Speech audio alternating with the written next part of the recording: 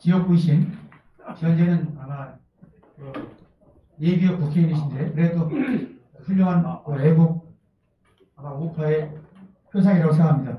이기태 고문님 소개해드리겠습니다. 박수 한번 좀 부탁드립니다.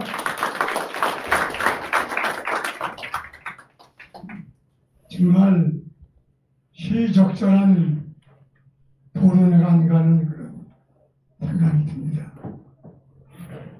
뭐 여러분 아다시피 지난 5년간 투쟁했을 때 불법 사기 탄핵 무효 그리고 박근혜 대통령 무죄 석방을 주장했던 분들이 보이는데 이제 박근혜 대통령께서 사면 복권되시고 이제 곧 국민 앞으로 나오시게 되는데 우리가 지금 가장 중요한 것이 박근혜 대통령 여기는 이제 복권이라고 했습니다만 복권이나 뭐 명예 회복이나 이게 지금 가장 중요한 앞으로의 과제인 것 같습니다. 박근혜 대통령이 지금 간절히 바라는 것이 여러분이 잘 아시고 그 체제 얼마 전에 발견된 책을 보고 그림은 아무에게나 생기지 않는다. 책자에 보면 언젠가 언론도 확인되지 않는 무책임한 보도에 대해서 책임을 져야 할 날이 올 것이라고 생각합니다. 그동안에 가짜 보수, 또 가짜 뉴스 이런 책임질 날이 올 거라 그런 확신을 말씀을 드렸습니다. 또 이런 말씀하셨습니다. 때가 되면 진실은 드러날 것입니다. 긴 시간이 될지 모르지만 그날이 반드시 올 것입니다. 그래서 우리 박근혜 대통령의 이런 어떤 진실이 드러나는 그날까지 투자하기 위해서 오늘 아마 우리 이 매사기 탄핵인가 복권이 뭐 지켜보기 오늘 주최되는 것 같습니다. 다시 한번 우리 정의일 대표님 비롯한 여러분께 감사와 축하의 말씀을 드리고 한 가지 제가 부연의 말씀은 최근에 그 조선일보 기자 출신 아주 막내인 같은 최고시기가 본인 유튜브에서 아주 박근혜 대통령이 지금 아주 없는 무슨 치명적인 병을 얻은 것처럼 보도해가지고 저에게도 수많은 치고 나가고 SNS에 돌아다니는데 절대 박근혜 대통령은 좀 건강하시고 예, 식사도 제대로 하시고 좀 재활 치료를 받고 계시고 본인한테 들은 얘기는 아닙니다만 2월 초에 나오시려 했는데 왜 보름 연장이 되느냐 여러분 물론 치료가 중요합니다만 나오셔 가실 데가 없어요. 이걸 처음 내일 모레 아니에요. 집이 없어요. 그 집을 누가 뺏어갔어요? 윤석열 아니에요? 검찰총장 때. 그걸 집에 갈 길이 없기 때문에 지금 거의 못 나오시는 건데 엉뚱하게 지금 치명적인 병이 있는 것처럼 아주 우리 자유파 시민들, 국민들을 실망시키는 이런 일에 대해서 정말 유감을 표시합니다. 오늘 토론자 나오신 여러분께 많은 기대와 좋은 말씀 주시기를 부탁드립니다. 감사합니다. 감사합니다. 박근혜 대통령 병인의 대법위원회 위원장 이기태 위원장님 뜨거운 박수 다시 부탁드립니다.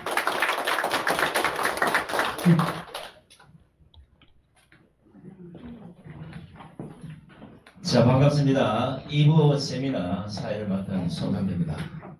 반갑습니다. 우리 이명영 대변인 사실 사회를 잘 보시는데 제가 나타나니까 약 쪼는 것입니다. 다시 한번 1941번 이명영 대변인 사회를 보시죠. 자 오늘 뭐 세미나가 어쩌면 뭐 빠를 수도 있고 늦을 수도 있습니다. 아마 여기 나오신 분 중에는 대부분이 지난 6년간 아스팔트 같이 싸우고 지금 각 지역에서 다양한 방법으로 박근혜 대통령 명예회복과 복권을 위해서 노력하고 있는 걸로 알고 있습니다. 앞에 나와 계신 네 분의 토론 발 제자분들은 뭐 잘나서가 아니라 이 문재인 정권에 또 박근혜 대통령 불법 탄핵에 한가하다 나름대로 다 고통을 당하신 분이고 다 앞장서서 투쟁을 했던 분들이어서 이런 분들이 그래도 발제하고 뭘 하는 게 좀 여러분들에게 잘 먹히지 않을까 싶어서 특별히 네 분을 골랐습니다 사실은. 자 오늘 이 자리가 뭐 사회적 거리두기 때문에 여러분이 들어올 수 없는 이 구조적 한계는 있습니다. 그러나 지금 아마 유튜브를 통해서 830만 해외 동포는 물론이고 전국에서 이 현장을 아마 시청하고 계실 거라고. 오늘 나오신 발제자들의 얘기를 한번 잘 들어보시고 앞으로 우리가 박근혜 대통령의 복권을 위해서 어떤 일을 해야 되고 지금까지 밝혀진 이 진실에 대해서 이대로 갈 것인지 아니면 각 정당의 투쟁을 통해서라도 그분의 명예를 밝혀드려야 될 것인지 이런 것들을 한번 생각해보는 시간이 있으면 좋겠습니다. 자, 잠깐 앉아서 이제 진행을 해보겠습니다. 박수는 안 치셔도 됩니다.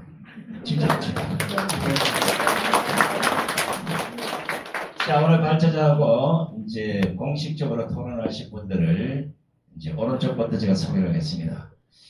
아, 탄핵 전국에서 국회에 박근혜 대통령 누드화가 걸려있는 걸 보고 욱해서 뛰어가서 그 누드화를 땅바닥에 팽개쳐서 파손시켰다고 해서 이놈의 정권에서 고발까지 당하고 벌금까지 내고 지금까지도 그 고통을 당하고 계시는 우리 신동보 해군 제동님입니다.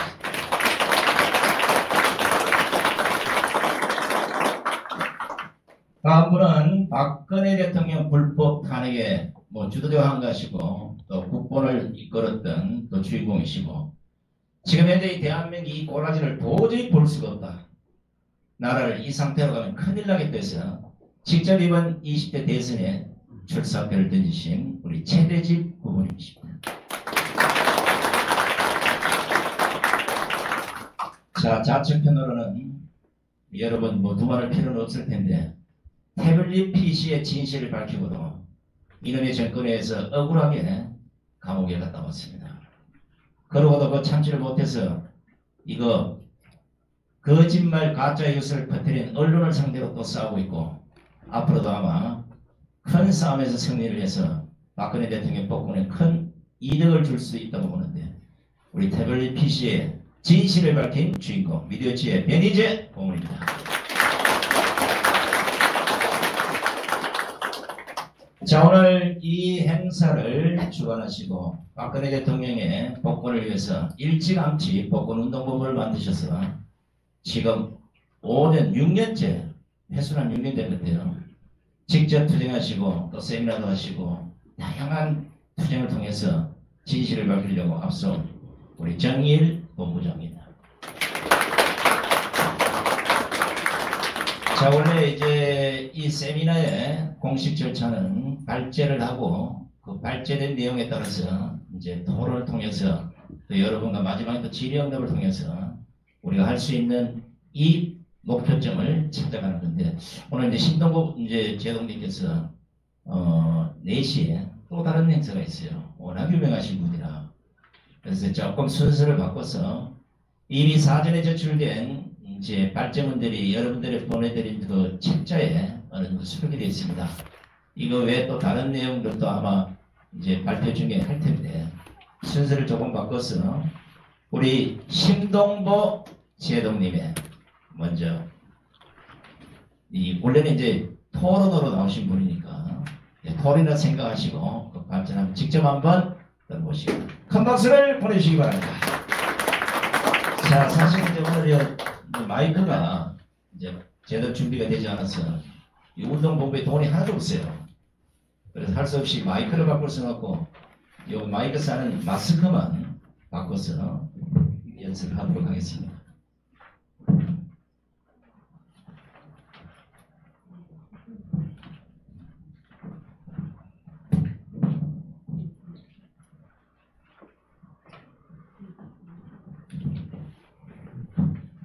아, 안녕하십니까. 그 토론자로 제가 제일 마지막에 사진을 발표하게 되어 있는데 여기 사정상 어, 해치기로 해가지고 제일 먼저 발표하게 돼서 대단히 죄송합니다. 예, 양해 부탁드립니다.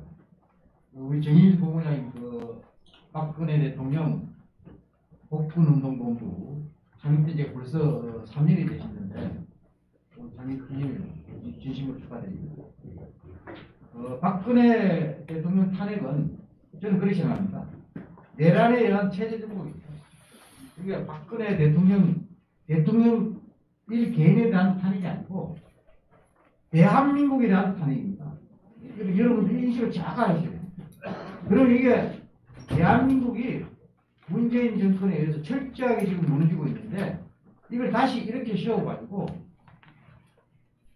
거의 막 최소한 제 생각에는 G5급의 자유통일국가로 나가야 됩니다. 그 제일 전제 조건이 이 탄핵의 응작을 규명해 잘못된 탄핵을 반드시 규명해서 바로 쉬어야 됩니다. 거기서부터 대한민국이 다시 일어나서 중화하는 출발점을 삼습니다. 그래서 제가 좀 그 맨 마지막에 제 발제문이 있는데 그걸 한번 참고로 하시고요. 하여튼 말씀드린 박근혜 대통령 탄핵 폭탄 김정은 김정은이가 사실은 지령한 겁니다. 이거. 여러분 정확하게 하셔야 됩니다. 이게 지금 국내 뭐 종북 좌파 세력이 준동해가지고 뭐 촛불 행위 이거 해가지고 광화문에 그거는 김정은 의해서 움직일까 이렇게 보시면 됩니다. 그래서 저는 김정은 세습 독재 에, 전체주의 공산 정권의 지령에 따른 행위였다. 거기에 극좌파 반국가 세력이 놀아가는 거다. 뿐만 아니고 기회주의 보수 세력까지 동조한 거다. 그래서 이 세 가지 세력이 김정은 진영에서 일사불란하게 움직여가지고 그야말로 탄핵이 정강스타처럼 일어났습니다. 국회에서 탄핵이 발의돼가지고 6일 만에 여러분 이게 12월 9일 날 탄핵이 그 어, 발의 아니 9일 날 저, 소추안이 의결됐는데 딱 발의된 지 6일 만에 소추안이 의결됐습니다. 이런 경우가 전 세계 역사가 없습니다. 이게 대한민국이 지금 10위권에 세계 10위권의 문명국에서 도저히 일어날 수 없는 한마디로 정치적 테러입니다. 박근혜 대통령이 분명히 말씀했습니다. 법치의 이름을 빌린 정치 보복이다. 그렇습니다. 그리고 국회에서 탄핵 소추한 거는요, 모든 게 조작되고 인위적으로 끼어 맞춘 겁니다. 그래서 강일은 심지어 그 주심 재판관 그 현재 나그 근성동 당시 탄핵 소추위원장이 가지고 간 그것도 열쇠를 쓰고 이 고치라 이거 이거 그대로 할 수가 없다 이거 고쳤다는 거 아닙니까? 그러니까 이거 전부 다 그 그 법에 의해서 조사가 수사가 되고 이게 법적으로 받침이 돼야 되는데 이 뇌물죄 같은 거는 저 헌재법에 51조에 그 저 탄핵 사용 안 된다니까. 그게 고쳐와라 하니까 금수님이 지 것대로 고쳐가지고 탄핵 소추 의결서 자체를 고친 겁니다. 그리고 이걸 다시 하려면은 국회에서 다시 심의 의결을 해야 돼요. 근데 심의 절차를 거치지 않고 은성동 개인이 고쳐서 헌법재판소 강일은 주심 재판관에 갖다 준 겁니다. 그러니까 가- 또 헌재는 이게 탄핵 소추 어, 의결서가 법적 요건에 안 맞으면 각하시키고 끝입니다. 와, 이거 딱 이거는 탄핵 소추할 수 없다 이 의결서로 국회 돌려보내는데 돌려보내지 않고 자기들끼리 합의해가지고 임의로 자의적으로 의결서를 고쳐서 후보재판소에서 탄핵 심판까지 한 겁니다. 이게 적법성이 완전히 개조됐습니다. 이거. 국회에서부터. 그 다음에 헌법재판소도 아시다시피 원래 아홉 명 헌법재판관이 다 있어야 되는 거예요. 근데 한 명이 그런 상태에서 헌법재판소장 대행 이정미가 밀어붙인 거예요. 이거 이 자체가 저 저 위법이다 위법. 그리고 구인이 아닌 재판부는 심리만 할 수 있고 심판은 할 수 없다 이렇게 돼 있어요. 그 전례가 자기들 스스로 만든 그 예가 있는데 무시한 거예요. 그래가지고 모든 게 국회하고 짜고 치는 고소들처럼 해가지고 2017년 2월 27일 심의를 종결했죠. 왜냐하면 배노인단이 많았지 않습니까? 계속 일이 제기했는데 배노인단 그 배- 배노를 다 듣지도 않았어요. 그리고 27일 시민을 일반적으로 종결하고 3월 10일 날 하면서 겁니다. 그리고 헌법재판소법에는 그 38조에 180일의 심판기일이 명시되어 있어요. 근데 180일에 반도 안 채우는 상태에서 무엇에 쫓기듯이 대통령 박근혜를 파면한다. 이렇게 한 거예요. 완전히 폭군이다, 이거. 그 다음에 언론. 언론도 완전히 놀아놨어요.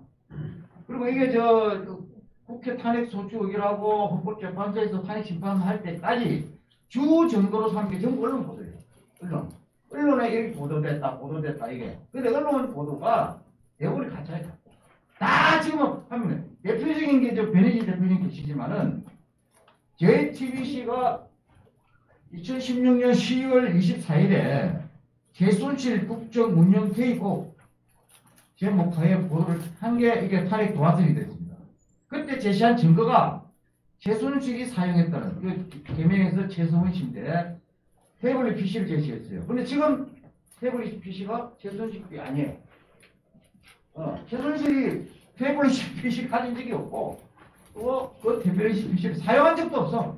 그리고 본인은 태블릿 PC 자- 사용할 줄도 몰라.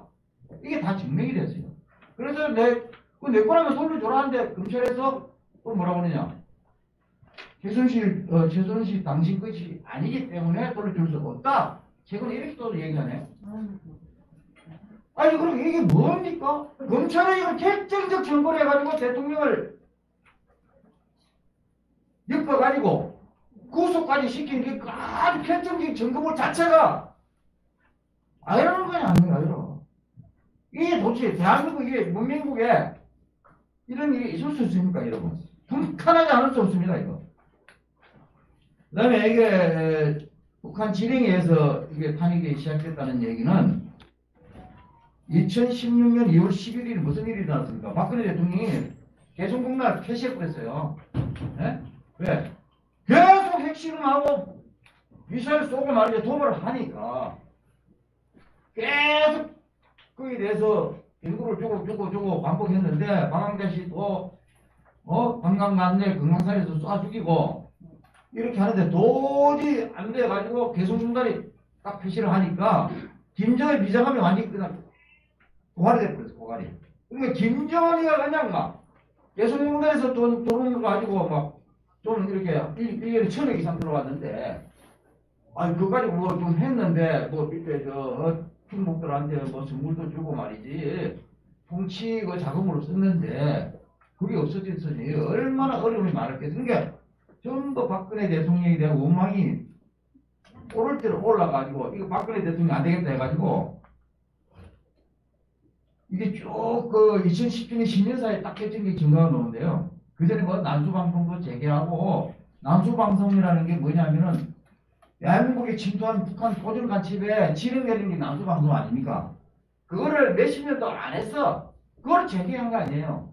그래가지고 조직적으로 국내에 활동하는 고정 간첩들을 막 준동을 하고 어 활동을 막 재개를 시켰단 말이에요. 근데 2017년 10년 사이에 뭐라 했냐면 박근혜와 같은 반통일 사대 매국 세력의 준동을 분시하기 위한 전민족적 투쟁을 힘있게 벌여야 한다.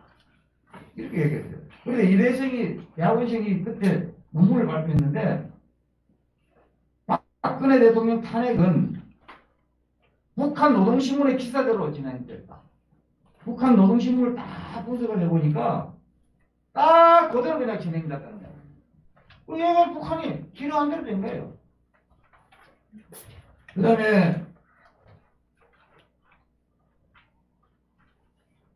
예, 문재인 정부 그 다음에 특검, 박영수 특검 이건 완전히 없는 죄를 이제 맞춰가지고 어? 문재인 그 전국 좌파 이 세력의 에, 그 구미에 맞게 예? 맞춰가지고 뭐 북중농단 북중농단이면 이, 이 용어고 북한에서 나왔습니다 북한에서 그 북중농단이라는 말이 법에 어디 아무런 근거가 없어요 그래 북중농단이라는 위법 그거 저 뭐 조항이 없어 이상한 국정농단을 딱 글을 만들어가지고 그게 다 지운 거야.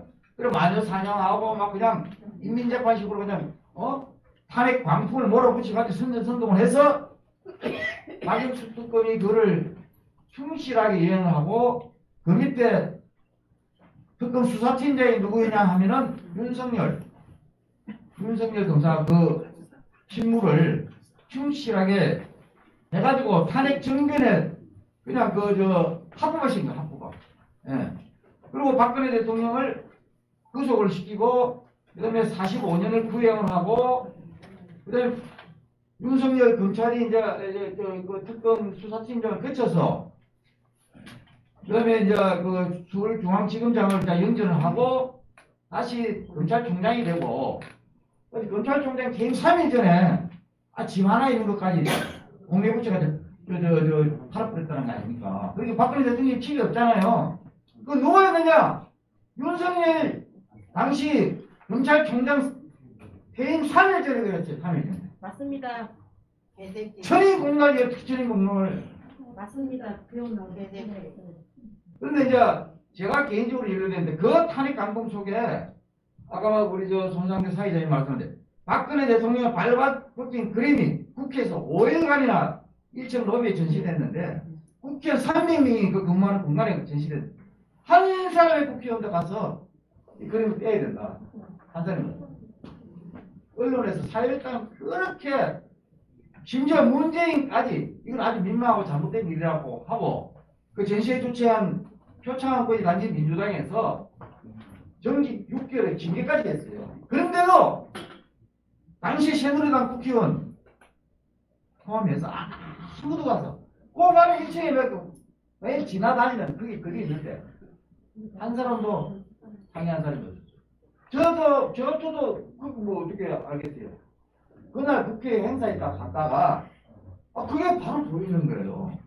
그거 어떻게 지나쳤습니까? 그거? 천발 받으면 어? 그래. 제가 사관학교 다닐 때 말이야. 그 1월 24일이 제가, 제가 사관학교 입교한 지 딱 44주년 된 해예요. 1973년 1월 24일에 제가 사관학교 입교를 했는데, 맞지? 2017년 1월 24일에 재능을 입고 있네요. 우리 사관학교 다닐 때, 우리는 안일한 불의의 길보다 험난한 정의의 길을 간다. 매일 외쳤어요, 매일 외쳐. 다간시인데 신조에 그게. 해, 해군사관학교가 그런 게 아니야. 육군사관학교, 공군사관학교, 삼사관학교 다 공통적으로 그 매일 외쳐요. 우리는 안일한 불의의 길보다 험난한 정의의 길을 간다. 그 외치면 뭐하냐고. 어, 불의가 그 앞에, 내 앞에 있는 그 지나칩니까, 그게? 그 치고 던지는 바람에 제가 하여튼 3년 만 동안 뭐 행사, 미사, 뭐, 난 지금 처음으로 행동 경찰청 시장에 가지고 하루 자고 말이죠. 하여튼 좀 그래 고생을 했는데 제가 후회하지 않습니다. 근데 아, 행동을 해야 뭐 정리를 지킬 거 아닙니까? 내 국장들이 그렇고 그 생각하면요 195년 전인가요? 1895년에 명성하고 신이 됐잖아요. 하필 경북군 수비대 인원이 300명이 되었어요. 300명. 지금 국회의원들이 300명이지 않습니까? 정원이 똑같아요. 300. 경북군 수비대가 왕비가 시해되는데 일본 낭인들에 의해서 아무도 그를 안 말리는 거예요. 예, 방치해서 방치. 똑같은 거야. 나라 말이 직전에 대한민국의 왕궁 수비대라 지금 국회의원 300명 숫자도 똑같고 하는 행위 비겁하게 이렇게 됐다. 이 대한민국 행 주소가 그런 거야. 근데 결론 내리겠습니다. 뭐 이렇게 되고요. 대통령 선거가 지금 오늘 41일 전입니다. 41일 전. 이게 대통령 정말 다음 대통령 중요합니다. 저는 일이 있도록 다음 대통령이 박근혜 대통령이 이 사기 탄핵 이것을 이 잘못을 규명하지 않는 대통령은 다음 대통령 되면 안. 왜? 대한민국 전진할 수가 없어요. 그런 대통령이 있는 한 이 사기 탄핵 문제 바로 쉽지 않는 한은요 안 됩니다. 그래서 그런 대통령을 뽑아야 되는데 지금 예순 후보 나선 사람 이번에 지면 감옥 갈 갔습니다. 본인 스스로 그런 사람이 있는가 하면은 없는 죄 만들어서 감옥 보내지 그리 생존할 수 있겠습니까? 또 이런 또저 제1야당 후보는 또 이런 이야기 하더라고. 자기가 없는 자 만들어서 감옥 보낸 사람이 예? 의외가 없습니다. 이렇게 판단할 수 있느냐 이거야. 예? 그래서 3월 9일 41편인데 정말 여러분들 누구라고 제가 이야기를 하지 않겠습니까? 다 각자 생각이 있을 테니까. 근데 저는 대한민국 다시 일어나서 용서하기 위해서는 제일 먼저 해야 될 게 박근혜 대통령 잘못된 탄핵. 이거 바로잡아가지고 그것부터 새로 저는 출발해야 된다고 생각하고 그에 맞는 일을 할 수 있는 정말 전략적 지도자 까의 대통령이 3월 9일 날 당선되는 소식을 듣고 싶습니다. 이상 마치겠습니다. 감사합니다. 질문 있습니다. 예, 예. 아니 질문은 나중에 질문은 나중에 질문 시간 때 따로 드리겠습니다. 아 집에 가시려고 그러죠? 아 이제 제- 제동님이 먼저 가시겠다. 그러니까 그 아, 나가시면 저 복도에서 아, 예, 예, 예. 왜냐하면 이 순서상 어, 질의응답을 하다 보면 끝에 분이 못할 가능성이 있어요. 아, 양해를 좀 해주십시오. 양해를 좀 해주십시오. 네. 자, 우리가 박근혜 대통령의 탄핵을 보면서 용서해야 될 게 있고 용서하지 말아야 될 게 있습니다. 그러나 박근혜 대통령의 불법 탄핵에는 100%다 용서해서는 안 되는 겁니다. 맞습니다. 맞아요, 맞아요. 신정도 제도께서 지금 발표하신 내용 중에 우리가 왜 국민의힘이 지금 있는 탄핵 62적을 응징을 해야 되냐면 아까 말씀대로 국회에서 탄핵 소추 의결서가 헌법재판소로 갔을 때 헌법재판소 이건 도저히 여기서는 탄핵이 안 된다. 이걸 강일원이가 건성동대 얘기했는데 건성동이가 못 고치겠다 이게 강일원이 직접 고쳤어요. 그 고친 상황을 마이크가 안 나오노? 안 폈어요 사실은. 이 수정된 사항도 국회에서 분명히 의결을 거쳐서 다시 헌법재판소에 보내게 되는데 이 절차를 무시했습니다. 상권분립 국가에서 입법부가 적어도 한 나라의 대통령을 탄핵하면서 이런 불법적 행동을 했다. 여기에 대해서 탄핵을 한 놈 뭐 200 몇십 명이나 그 국민의힘에서 그 탄핵을 보고도 아무 얘기도 못한 놈이나 그 놈이 그 놈이라는 겁니다. 우리는 분명히 역사 앞에 이걸 따져 물어야 되는 거고 박근혜 대통령의 불법 탄핵은 이미 국회에서부터 잘못된 거다. 원상태로 돌아가야 된다는 거죠. 자 그리고 사실 그 누드 그림 뭐 우리 아마 이쪽에 있는 계신 분들 누구라도 아마 지나가서 다 부셨을 텐데 그래도 해군 제독님이 부수니까 탄압이 세요. 민형사 다 해서 감옥 가서 아, 유치장에 한 1일 정도 있다 왔다는데 여기 우리 베니제 대표는 1년 갔다 왔고요. 저는 보너스로 1년 7일 갔다 왔어요. 자, 뭐 이제 감옥 가고 안 가고 뭐 괜찮습니다. 앞으로 가실 분이 우리 최대 대표도 있고 많이 있습니다. 자, 우리가 저 지금 현재 뭐 각 당에서 내놓는 이 공약 사항들을 보면서 야, 대한민국의 미래는 이렇게 큰일 났다. 그놈이 그놈이고 이러다 나라 망하게 생겼구나. 앞으로 전가 10번 정도가 나라를 끌고 가는 이런 시대가 올 수도 있다. 그걸 보고도 희닥거리는 그런 똑같은 구편들 이 시점 정리를 해야 되지 않나 싶어서 제가 각 후보들 쭉 한번 공약 사항들을 한번 읽어봤어요. 분석을 해봤습니다. 하리말로. 30년 언론사 생활을 하면서 적어도 누가 가장 양심적으로 공약을 내놓고 지킬 공약을 내놓고 그 공약에 자부심을 갖고 있느냐 이걸 쭉 판단. 제가 옆에 있다고 지금 자랑하는 거 아닙니다. 최대집 후보가 적어도 내가 출사표를 내고 대통령을 한번 해보겠다는 이 생각을 가졌을 때 그 내용이 그 공약 상안에 오롯이 담겨 거예요. 혹시 안 보신 분은 한번 보시고 혹시나 또 이 토론하다가 기분 좋으면 좋은 공약 있으면 또 한마디 하시고 해주십시오. 자 우리 최대집 우리 대선 후보의 발전을 좀 들어보도록 하겠습니다. 아니 발제가 아니고 토론 토론이니까 아, 토론 발전부터 할까요? 예, 예. 어이구 일부스 헷갈리 저도 헷갈리네. 자 웃자고 하는 겁니다. 그래 우리는 웃고 있지만 박근혜 대통령이 지금도 울고 있습니다. 네, 좋은 소식이 하나 있어요. 미국에 계시는 어떤 70대 좀 넘으신 그 변호사분이 저한테 직접 연락이 왔어요.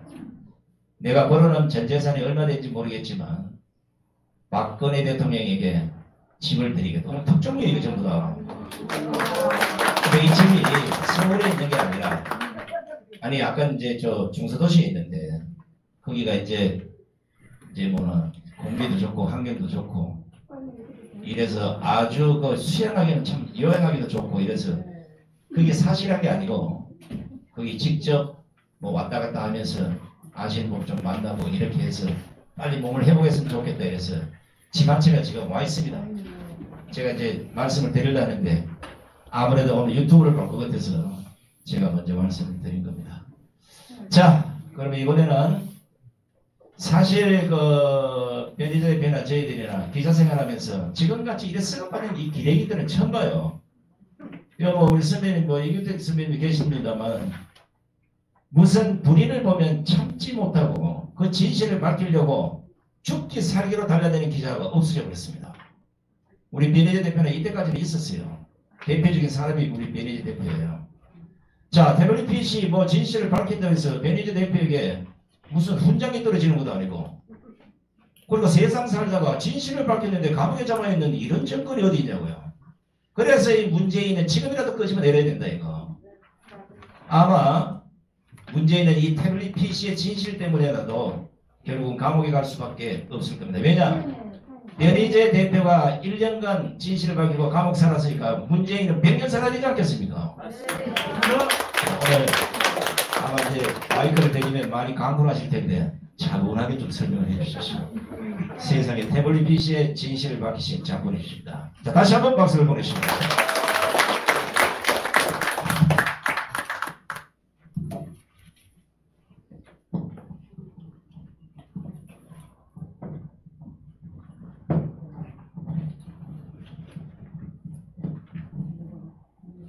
예, 제가 사실 발제를 이 두 개를 보내드렸는데 하나는 그냥 늘 이제 유튜브 나가면 제가 설명하는 태블릿 PC 조작을 PT로 만든 거기에 지금 1페이지에 이 최순실 그그 사진 나와 있는 거예요. 예. 그거 하고 최근에 박근혜 대통령님이 어쨌든 퇴원을 하시면은 국민 앞에 다가 가셔서 뭔가 메시지를 내겠다는 뜻을 여러 차례 주셨기 때문에 그때 박 대통령이 어떤 메시지를 내야 되는지 그걸 제가 칼럼을 두 편을 썼는데 그 칼럼 링크를 보내드렸는데 어, 링크는 지금 이게 프린트가 안 되고 저 파일만 돼서요. 뭐 태블릿 관련해서는 아주 그냥 뭐 단순하지만 여러분 제가 노출있는 것들 한 두세 가지만 짚어드리고요. 어, 박근혜 대통령님이 어떤 메시지를 내야 되는지 거기에 좀 집중하겠습니다. 제가 언제 3시까지 하면 되나? 15분인가요? 한 3시? 20분? 알겠습니다. 예, 예, 예, 3시, 5, 3시 5분 정도까지 하겠습니다. 그 1페이지 한번 보세요. 그, 사실, JTBC가 이 태블릿 PC를 최서원 거라고 보도했을 때 당시에 JTBC가 들고 있었던 증거라는 건 없었어요. 네, 최수, 최서원 거라는 증거를 전혀 갖고 있지 않은 상태에서 요거 하나 갖고 질렀는데 요 사진이 있다고. 자 이거 뭐 제가 여러 번 설명드렸지만은 여러분들 그 스마트폰에 무수한 사람들의 사진이 있을 겁니다. 본인 사진 말고 어머니 사진, 뭐 아버지 사진, 친구 사진 있을 거 아닙니까? 그러면은 상식적인 훈련받은 기자라면은 최서원의 사진이 있다고 해서 이걸 최서원 거라고 들을 수가 없어요. 이건 상식적으로는. 오히려 최서원의 숨겨둔 애인 사진이 있다. 그러면은 최서원이 끌 수 있어요. 차라리. 거가 좀못 지르는데 이걸로 질렀다는 것 자체가 이미 처음부터 뭔가 공작이 있었다는 거고요. 더 놀라운 거는 JTBC는 이미 이 당시 태블릿 PC를 입수했을 당시에 개통자가 누군지를 알았다고 저희들이 밝혔는데 개통자가 최서원이 아니고 청와대 김한수 행정관이라는 것을 검찰보다도 먼저 알았습니다. JTBC는. 자 그러면 우리가 상식적으로 어떤 이 스마트폰이나 태블릿 PC를 우리가 입수했어요. 그러면 거기에 사진이 들어있는 거를 먼저 봅니까? 아니면 개통자가 누구 거를 확인합니까? 개통자가 진짜죠. 그럼 JTBC 입장에서 딱 두 가지 나서주고 있었는데 발표할 때 최소한 사진 요거랑 개통자가 김한수라 그러면은 이거를 김한수한테 물어보지도 않았대요. 김한수한테 물어봐야 될 거 아닙니까? 김한수가 당시 현직 청와대 국장이었는데 당신 지금 그 개통한 태블릿 PC가 저기 최서원 빌딩에 있었는데 당신 최서원 거냐 물어봤어야 될 거 아니에요 당연히 안 물어봤다는 거예요. 안 물어보고 그냥 최서원 거라고 질렀다는 겁니다. 지금 이제 이제 와서 보면은 그러니까 처음부터 이거는 김한수하고의 이 엮여서 이 조작과 공작이 들어간 거지 우연히 습득해서 거라는 것은 지금 봐- 다시 봐도 성립이 안 되는 얘기입니다. 이거는. 이 페이지 가면요. 이 김한수 거라는 증거를 그러면은 없애야 될 거 아닙니까? 태블릿 PC를 최서원 거라고 질렀어요. 결론적으로 이건 김한수 겁니다. 김한수가 사용한 건데 김한수가 사용했던 증거들을 없애야 되지 않습니까?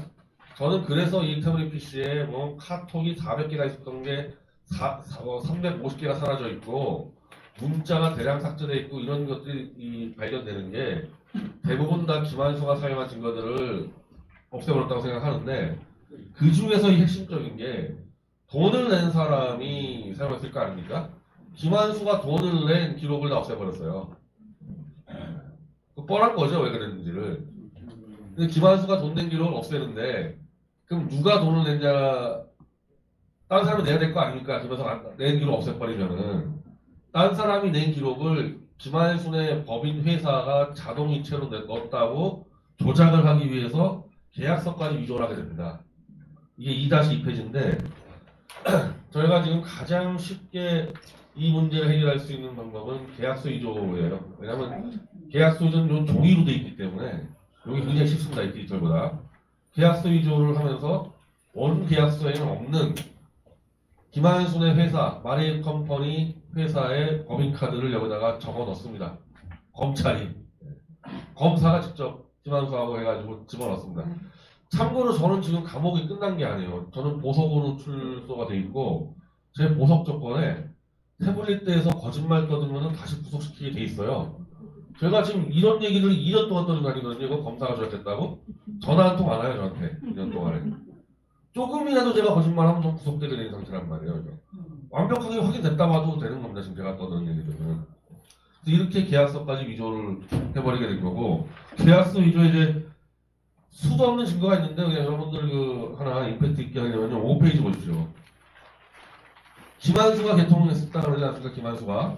자, 개통자가 김한수인데 이게 계약서가 8페이지인데, 자, 왜 사인이 다릅니까? 계약서에? 이런 사인 보신 적 있어요? 여러분들 그 스마트폰 개통하려고 편의점 가면은 한 8페이지짜리에다가 사인을 한 다섯 번 해야 되거든요. 여러분들 사인을 다르게 합니까? 1페이지, 3페이지하고? 왜 그렇게 했냐면은 이게 원, 월, 원래 계약자가 또 있어요, 이게. 김성태라고 김한수 직원이 한 건데 위조를 하다가 검사가 실수해가지고 사인을 잘못 뺏긴 겁니다, 이거. 사인 가는 거예요, 이래가지고. 그래서 이거를 이제 제가 책을 태블릿 사용 설명서라고 작년에 낸 책이 있는데 상세하게 나오는데 이 계약서 위조가 제가 다음 주에 또 출판을 해요. 그러니까 이제 1년 동안 더 연구해가지고 태블릿이 어떻게 좋았던지를 쫙 푸는 책이 다음 주에 나오는데 이거 지금 다 설명돼 있을 겁니다. 이 계약서 위조가 왜 이꼴 이꼴 돼 있는지. 다만 이 계약서 위조에 검사뿐 아니라 SKT도 개입돼 있습니다. 대한민국의 이동통신 재벌사가 대통령을 탄핵시키기 위해서 계약서 위조에 그 당시부터 참여했어요. 탄핵 때부터. 그때 위조된 겁니다. 그래서 저희가 SKT 앞에 가가지고 기자회견하고 집회하고 발표를 한 다음에 우리가 고발 조치까지 했는데 SKT가 검찰에 가서 설명한 바는 사인이 다른 거에 대해서 두 명이 같이 나타나서 두 명이 사인을 번갈아 서갔다 이렇게 해명을 해놨습니다. 원칙적으로 민사 계약에서요 사인이 다르면 그건 계약이 무효가 돼요. 이 계약서는 절대 SKT 서버에 들어갈 수가 없습니다. 이거는 SKT 직원이 저한테 인정을 했어요. 이 계약서가 어떻게 SKT 서버에 들어가냐 계약 사인 그래서 제가 지금 SKT에 이 위조된 계약서가 박 대통령의 재판에 제출됐었고 제 재판에 제출됐습니다. 그래서 제가 SKT에 2억 원의 손배소송을 지금 넣어놨기 때문에 요거 갖고 이제 SKT 서버를 뒤지면은 게임이 끝나는 상황이 돼 있어요. 다만 검찰 고발한 건 의미가 없죠. 검찰도 공범이니까 아까처럼 그럴 수 있지 않냐 이거예요 검찰에게는. 예, 뭐 사인 다룰 수 있는 거지 뭐가 문제냐 이렇게 나옵니다 검찰에서는. 그래서 예, 민사에서 게임을 끝내려고 이제 이 정리를 하는 겁니다. 자, 요 정도면은 뭐 태블릿 위조라는 게 김한수라는 청와대 행정관이 썼던 거를 그러니 청와대 문서가 200개 들어가 있겠죠. 청와대 직원이 있었던 태블릿이니까 청와대 문서 200건이 들어가 있습니다. 그걸 최서원이 썼다 그러니까 어떻게 일반 아주머니가 청와대 문서 200건이 들어있는 태블릿을 들고 다니냐 박 대통령이 준 거 아니냐 이렇게 뒤집어 씌우는 거 아니에요. 가- 간단하게 얘기되는 거잖아요 이거는 복잡할 게 하나도 없는 얘기입니다. 김한수가 썼다 청와대 주머니 또 이건 다 밝혀졌다. 그 조작은 누가 했냐? 검사하고 SKT가 했다. 깔끔하게 끝난 겁니다. 자, 이제 박근혜 대통령이 이제 이 뭐 2월 2일 퇴원 예정인데 뭐 퇴원을 하시다 안 하든- 안 하시든 뭐 간다면 하신다면은 뭐 병원에서 못할 일이 없습니다. 뭐 서울성동병원에 기자회견 시스템 다 돼 있어요, 사실은. 저는 일단 탄핵에 대해서 자신의 결백은 분명히 주장을 하실 거라고 생각을 해요. 안 그러면은 5년 동안 저렇게 침묵의 투쟁을 했을 리가 없죠. 네, 맞습니다. 잘못했으면 잘못했다 그랬겠죠. 네, 그럼 그러면 벌써 나왔겠죠. 네. 그 잘못했다는 것도 그냥 내가 최소한 뭐 사람 관리 잘 못했다. 그래서 최소한이 다 해먹었다. 이런 정도 얘기를 했었어도 나왔을 텐데 그 말씀도 안 하셨어요.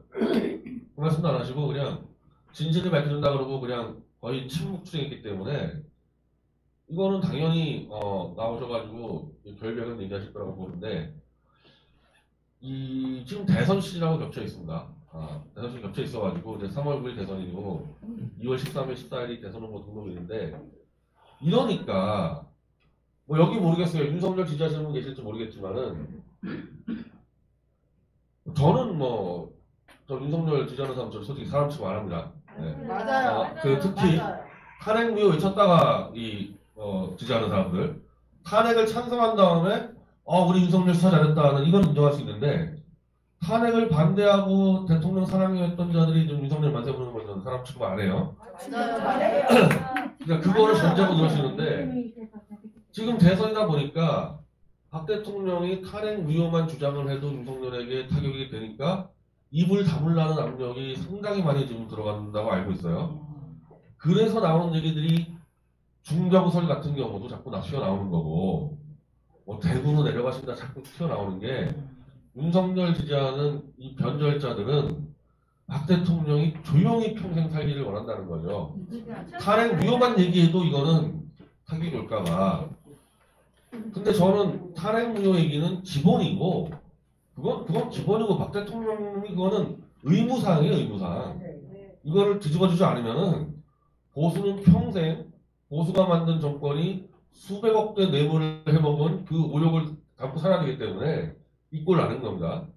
근데, 탄핵 무효를 말로 하는 게 아니라 관철을 시켜야 되는데, 관철시키는 방법론대에서는 뭐 우리 명예이나 정일 이 본부장님이 하는 수많은 이제 법적 논리들 뭐 국회에다가 탄원도 뭐다 하지 않겠어요 저희가? 근데 법적 논리가 문제가 아니라 제가 볼 때 탄핵 무효의 핵심은 그 당시 언론에 속고 JTBC에 속고 태블릿에 속았던 70% 국민들이 그 당시 30%가 탄핵에 반대했고 70%가 탄핵에 찬성했는데 이 구도가 안 바뀌었어요 5년 동안. 여전히 7대3, 여전히 7대3입니다, 이게. 이 70%를 최소한 그 안에서 절반 정도를 움직여서, 아, 내가 속았구나, 언론에.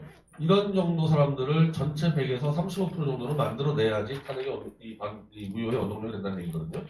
근데 일반적으로 이 국민들, 서민들일수록 과거에 5년 전에 자기가 했던 판단을 다시 자료를 검토해가지고 예를 들면 제 책을 사보고 우종찬 기자 책을 사보고 자기의 실수를 인정한다. 이게 일반인들이 이게 가능한 일이 아니에요 이게. 이게 그렇게 해야 되는 기자나 교수나 이런 자들도 안 하는데 먹고 살리는 사람들이 이렇게 하겠어요? 그냥 가는 거지. 근데 지금 유일하게 저는 이 찬스라고 보는 게 대선에 지금 온 관심들이 가 있지 않습니까? 희한하게 탄핵을 찬성했던 좌익이나 중간층 국민들이 지금 윤석열을 반대하고 탄핵에 반대했던 보수층이 윤석열을 지지하는 이런 이상한 사태가 벌어졌어요. 저는 이것도 문재인의 공작이라고 보는데 그냥 그냥 그냥 게 아니라 그렇게 된 거를 저희는 박 대통령과 함께 이용을 해야 된다는 입장인데 탄핵에 그렇게 열렬히 찬성하고 촛불 들렸던 사람들이 저 윤석열 대통령 될까봐 잠을 못 자요. 우리는 지금 윤석열이고 이재명이고 둘다 될까봐 잠을 못 자는데 일단 좌측은 좌측이나 중간측은 윤석열 될까봐 잠을 못 자요. 좌쪽 입장에서는 윤석열이가 배신자예요. 아니 저게 문재인이가 시켜줘가지고 저렇게 어, 출세하더니 이게 뒤통수 치고 절로 가 이- 이랬을 거 아닙니까? 또저 사람들 입장에서는 윤석열을 때려 죽이겠다 지금 이런 사람들이 있는데 저쫙 그럴 때 박근혜 대통령이 이 탄핵의 주범이 윤석열이 맞아요. 그거 아니라고 또 사기 치는데 자 김무성이 유승민이 탄핵 주범 맞죠? 네. 다만 그 당시 2016년 12월 9일 날 국회에서 표결이 들어갈 때 탄핵 표결에 200 200석이 230석 거의 넘어갔죠. 240석 300명 중에서 그래서 이쪽에 이 지금 이 국민의힘에서 60명이 글로 넘어가서 탄핵 찬성이 이렇게 됐는데 그 전에 어떤 일이 있었냐면은 12월 3일 날 특검에서 수사팀장에 윤석열을 임명합니다. 5일 전에 양쪽 다 윤석열을 요구했어요. 왜 그랬냐면은 탄핵을 성공시키려면은 노무현 헌재 판례상 뇌물죄를 뒤집어 씌워야 되는데 검찰 그 당시 박 대통령의 검찰이 1차 수사 발표할 때 뇌물죄를 차마 못 뒤집어 씌웠습니다. 아니 재단에 돈이 그대로 있는데 K재단 미르재단에 박 대통령의 통장에 10원 한 장 안 들어왔는데 이걸 뇌물죄를 어떻게 뒤집어 씌워요 상식적으로? 뒤집어 씌우려고 노력을 했어 그쪽도. 근데 마지막 양심인가 때문에 못 뒤집어 씌웠단 말이에요. 그러니까 이제 비상 걸린 거죠 국회에서는. 뇌물죄를 못 뒤집어 씌우면 탄핵이 안 되는데. 탄핵을 하기 위해서 뇌물죄로 뒤집어 씌울 가장 파렴치한 놈을 찾은 게 윤석열이에요 웬만한 좌익 검사도 못 뒤집어 씌워 그거는 증거 때문에 그래서 윤석열을 찾아서 윤석열이를 딱 임명이 된 다음에 아 뇌물죄로 뒤집을 수 있구나 이 확신 가지고 탄핵 표결 가결시킨 겁니다. 만약에 가결됐다가 뇌물죄로 안 돼봐요. 그러면은 헌재에서 탄핵 안 되면은 다 죽는 거 아닙니까 탄핵 세력은 윤석열이라는 조작 날조의 대가를 스카웃하면서 탄핵이 통과가 됐다. 그럼 주범이 누구예요 그러면은 윤석열이죠. 그래서 윤석열이 한 게 K재단, 미르재단도 뇌물죄로 뒤집어 씌웠는데 이거는 법원이나 헌재 가면은 엎어질 것 같으니까 말이 안 되니까 또 잡아낸 게 그 유명한 말세말입니다. K재단, 미르재단 뇌물죄는 엎어질, 엎어질 수가 있고 실제로 엎어졌어요. 다 문제 나왔습니다. 뇌물죄 여기는. 그러니까 뇌물죄를 끝까지 찾아야 되는데 그걸 골라낸 게 정유라가 탄말세 마리를 박 대통령이 받은 뇌물로 뒤집어 씌운 게 윤석열이에요. 이거는 국회의 탄핵 결의안에서 없는 내용이에요. 원래 탄핵 특검이라는 것은 탄핵에 관련된 것만 수사될 거 아닙니까? 아니 정유라 말세마리하고 탄핵과 관계가 없잖아요. 그러니까 이번 탄핵 안에도 없는 거를 윤석열이가 충성심에서 자기가 자발적으로 찾아가지고 그 그것도 너무 말이 안 되잖아요. 최서원의 딸이 독일에서 탄 말 세 마리가 어떻게 박근혜 대통령이 받은 뇌물이냐. 이거는 그 당시 조중동도 주장을 못했던 거를 과감하게 윤석열이 뇌물로 뒤집어 씌우면서 그래서 그게 이제 경제공동체가 나올 수밖에 없는 거 아니에요. 정유라와 최서원과 박근혜 대통령 세 명은 경제공동체다. 주, 이 주머니 같이 찬. 또 뇌물을 만들어서 제가 정유라를 좀 만났습니다. 정유라가 저한테 하소연하는 게 그게 맞으면 내가 박 대통령 그 집 그거 내 거냐? 내가 들어가서 살면 되는 거냐? 내가 팔면 되는 거냐? 그럴 정도로 엉터리로 뇌물죄 뒤집어 씌운 게 윤석열이에요. 이 정도면 이게 탄핵 주범이 아닙니까 이게? 이런 이런 얘기들을 저는 박 대통령이 해야 된다고 봐요. 해야 된다고 봐요. 그리고 본인이 수사를 받았기 때문에 본인이 윤석열이 뭘 조작하는지 잘 알고 있고 그걸 이제 제3자로서 밝혀낸 게 우종찬 기자인데 우종찬 기자가 이제 밝혀낸 얘기가 박 대통령하고 재벌 총수들이 만났을 때 한 번도 돈 내라는 얘기가 나온 적이 없어요. 왜냐하면 박근혜 대통령은 K재단 민주재단이 재벌들이 알아서 만드는 걸 줄 알았기 때문에 돈을 내라 얘기할 필요가 없었던 겁니다. 한 번도 얘기한 적이 없는데 윤석열이가 요거를 청와대 공문서를 조작을 해가지고 박 대통령하고 재벌하고 얘기가 다 끝났어. 네, 돈 내기 없이. 그 다음 날로 날짜를 잘못 기록해가지고 다음 날 청와대 공문서에 박 대통령이 재벌들에게 돈을 얘기했다 이런 날조하는 수사를. 근데 우종찬 기자가 제3자로 찾아서 그렇지 당사자인 박 대통령은 더 많이 알겠죠. 그 조작 날조한 거를. 저는 이제 태블릿 PC가 돼서 날조한 거 수두룩히 알고 있는데 이거 다 윤석열이에요, 다. 그래서 그런 문제들을 박 대통령이 국민들에게 알려야 되는 이유는 윤석열이가 조작의 주범이라는 걸 얘기해줘야지 윤석열이 떨어지기를 바란 탄핵을 찬성한 국민들이 귀를 기울입니다. 안 그러면 탄핵 무효할 때 귀를 기울일 이유가 없어요. 이미 끝났는데 뭐 넘어가죠. 지금 이 시점에서 대선에 영향을 미치는 윤석열의 정체를 알려줘야지만 탄핵 찬성한 국민들의 귀를 기울일 수 있고 그리고 저는 그것도 박 대통령의 의무라고 생각하는 게 조작을 날조와 이런 것들을 밥 먹듯이 하는 검사가 대통령 되면 됩니까? 안 돼요. 안 돼요. 검사 중에서 가장 훌륭한 검사가 대통령 돼야 되는데 조작 날조하는 검사가 최악의 검사 아니에요. 맞아요. 그걸 박근혜 대통령이 알고 있는데 대통령 되는 과정을 그냥 가만히 있는다. 전 이것도 직무유기가 될 수 있다고 봐요. 그래서 박근혜 대통령이 러프하게라도 좀 크게라도 윤석열이 수사에서 조작한 것들 큰 것들 한 두 개 정도 하면서 이런 자는 대통령 된 자격이 없다라고 질러줘야 된다. 그렇게 하지 않았을 때는 임팩트가 거예요. 지금 한 20분이 돼버렸네요. 제가 아, 좀 하면 내가 공부만 더 하겠습니다. 그리고 이제 이 태블릿 PC 관련해서도 박근혜 대통령이 마무리를 지을 수 있는 힘을 가지고 있어요. 저는 이 4년 동안 제가 뭐 감옥 갔다 하고 막 완전히 바닥에서 다 데이터 찾고 이렇게 했는데 이미 게임이 끝났는데 그러니까 제가 지금 바깥에서 활동하는 거 아닙니까? 근데 그냥 검사든 판사든 다 들어놓고 있어 버려가지고 뭐 일이 진행이 안 돼 이거는. 이거를 마무리할 수 있는 사람은 박근혜 대통령. 아까 말씀드린 대로 이거는 청와대 김한수 행정관이 썼던 태블릿 PC이고 그 김한수와 검찰과 특검이 공동으로 조작한 사건이기 때문에 박 대통령이 그 김한수를 부르면 돼요. 어, 김한수 불러가지고 우리가 드린 자료 가지고 김한수를 직접 신문해 보면은 딱 답이 나올 겁니다. 한 20분, 30분 신문한 다음에 필요하면 뭐 제가 대질 들어가도 되고요. 박근혜 대통령이 발표해 주면 되는 거예요. 이거 김한수가 썼던 거를 검찰과 특검이 은폐했다. 그렇게 발표해버리면은 저는 여기서부터 엎어진다고 생각하고 더 쉬운, 제가 볼때더 쉬운 거는 아까 얘기했던 계약서 위조 있죠. SKT한테 제가 기- 이 집회하고 기자회견을 세 번을 그 검사 들어가서 했는데도 SKT는 우리한테 전화 한 통을 못 합니다. 그 대기업들이 SKT의 이동통신 대기업은 전체 소비자를 상대로 하는 기업이죠. 팔아야 돼요. SKT 이거를. 그러니까 무슨 뭐 현대중공업처럼 뭐 조선 배를 팔고 이런 게 아니기 때문에 소비자들을 굉장히 이제 민감하기 때문에 그런 데에서 데모를 하면 난리가 나요. 예를 들면 무슨 CJ라든지 이런 데서 데모를 하면요. 이 그쪽 협력, 대협력 전무 상무 내려와가지고 그냥 술 사고 막 사고 난리가 나거든요. 나는 SKT 가서 이렇게 데모를 하고 만약에 지금 이 SKT가 이거 계약서 위조한 게 맞다면 이거 문 닫아야 되는 사안이거든요. 이거. 근데 1년 10개월 동안 저희한테 단 한 번의 전화도 안 옵니다. 데모만 하는 게 아니고 우리 또 언론사 하지 않습니까? 기사를 한 20개를 갖다 썼어요. 위조했다고.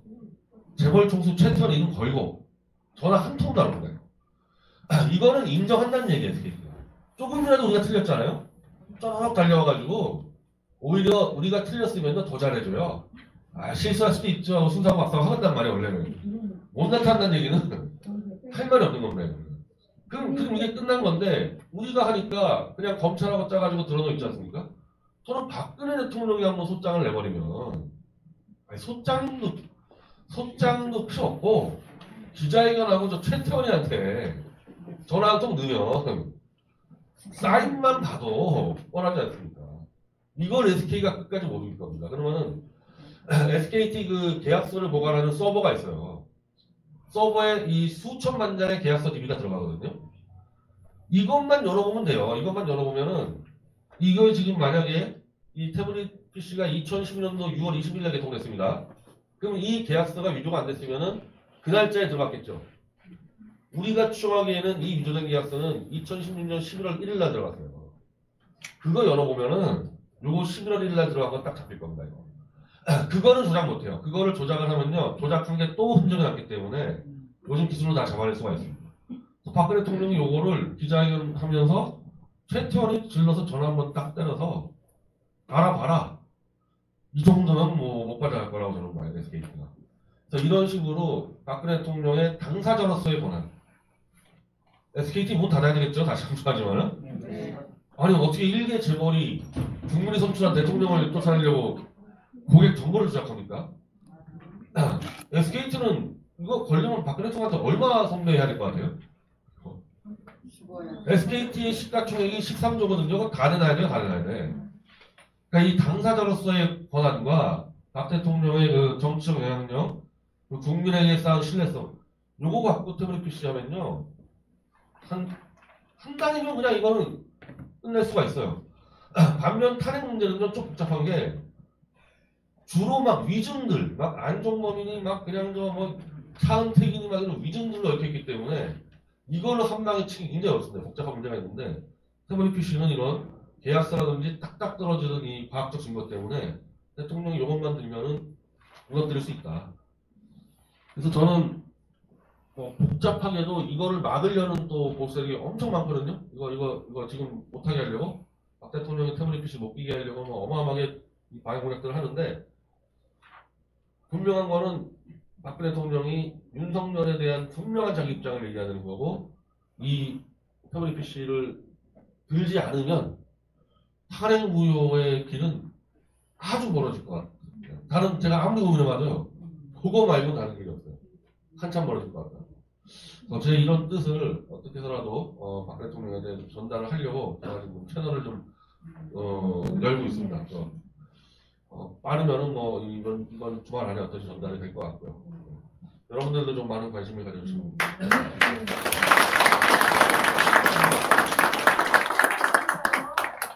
중앙일보에서 박근혜 대통령한테 압력을 주는 거라서 너 입자가 입자다 그러면서 하는 아, 거야. 그렇죠. 네, 그럼 좀 이따 말씀드리고요. 태블릿 PC의 진실이 왜 중요하냐면 사실은 이제 간중들을 이제 밖으로 몰아내고 마녀 사냥을 여러머리에 핵심타가 됐습니다. 어떻게 따지면 태블릿 PC가 JTBC에서 보도하고 그 이후에 기레기 언론들 좌파 언론들 막 받아 쓰고 이러면서 결국은 도화선이 된 거예요. 이걸 우리가 매듭을 풀 때 뒤에서 푸는 게 아니라 앞에서부터 꼬인 매듭부터 풀어가야 되잖아요. 그죠? 그래서 지금 변희재 대표가 말씀하신 이제 태블릿 PC만 제대로 밝혀내면 나머지 뒤에 건 제대로 풀릴 것이다. 자 이제 뭐 우리 변희재 대표는 보수로 나왔어요. 그래서 예를 들어 태블릿 PC 이거 뭐 얘기하다가 잘못돼서 또 들어가요. 들어가면 개심죄가 적용되면 한 3년 살아야 돼. 제가 보기에는. 그런데도 강 크게 나와가지고 책을 내고 태블릿 PC의 진실을 계속 얘기할 수 있는 건 뭐냐면 그게 진실이니까. 그러니까 이제 세상이 바뀌어서가 아니라 지금까지 모략하고 뭐 누구 말따라 작당하고 이랬던 인간들이 보니까 맞거든. 그러니까 직설을 못하고 있는 겁니다. 안 그러면 벌써 잡아였을 거예요. 저는 반대로 이제 집행유예요. 6월 8일 끝나는데 출소위 오늘까지 집회 현장에 있었는데 경찰이 관띠 부었나 이래요. 오늘 부었다.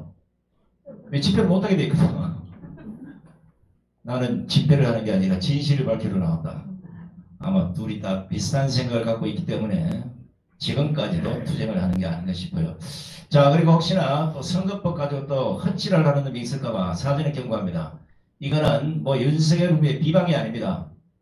당시 특검에 윤석열이가 수사팀장을 했기 때문에 그리고 태블릿의 이 불법과 또 지금까지 밝혀지지 않는 이 진실의 중심에 섰기 때문에 그 내용을 팩트를 지금 말하고 있는 겁니다. 자, 우리 어, 어디 가버렸네 그 사이. 아 그래? 예. 제가 어지간하면 이 좌측을 잘 안 봅니다. 옛날에 차를 볼 때도 더러워도 우측으로 막 계속 돌아서 가지 좌회전 안 했어요. 근데 그렇게 답니다 보면 시간이 너무 많이 걸려서 할 수 없이 그러는데 자 지금 아마 여러분한테는 우리는 마음이 똑같을 겁니다. 박근혜 대통령의 탄핵은 탄핵 앞에 꼭 불법이 붙어야 돼요. 이 불법 탄핵은 대한민국 국회와 헌법재판소, 검찰, 특검 그리고 또 법원, 언론기관, 여론기관. 오늘 변희재 대표 말씀 듣고 보니까 대기업까지 관여된 흔히 말로 국가 반란 사건이다 이거는 그렇기 때문에 이 반란 사건을 원인치로 돌려놓지 못하면 대한민국의 차기는 윤석열이 되든 저 뭐야 저 뭐 이재명이 되든 손상대가 되든 안 돼요 그 나라 꼬라지가. 몰라. 이럴, 이럴 때 얘기해야 돼요. 자칫하면 이제 최대집 후보는 모르겠어요. 아마 되면 나라 잘 될 수 있어요. 없을 때 얘기해야 돼요. 자 이렇듯이 지금 우리 국민들의 대부분의 마음은 이제 똑같아졌습니다. 자 그렇다면 이제 우리끼리도 사분 오일돼서 네가 올리 내가 올리 선거 때만 되면 아무 없이 훅쑥 몰려다니지 말고 앞에서 투쟁하고 싸우는 사람들의 나는 태블릿 PC 갖고 싸워서 한번 끝까지 한번 가보겠다. 이런 사람, 뭐 사회로 부정선거 관련해서 가겠다 이런 사람 있어요.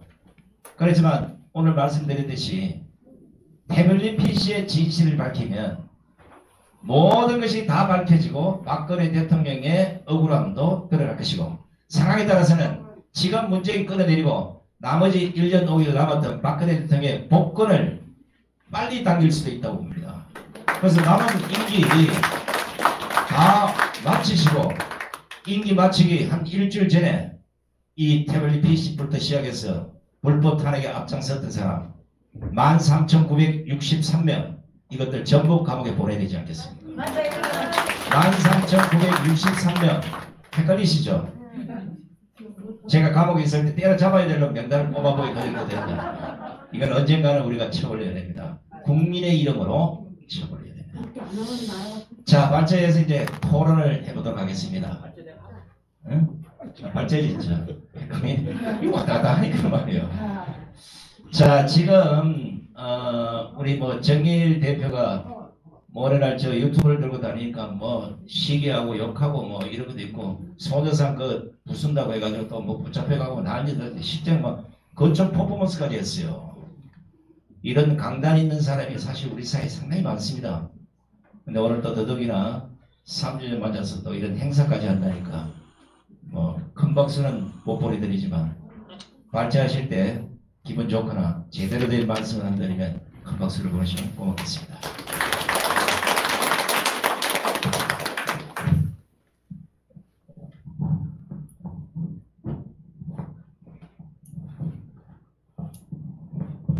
아, 정인입니다.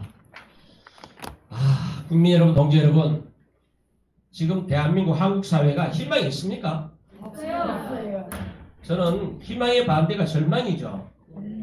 참 갑자기 이런 소리부터 해야 되겠습니다.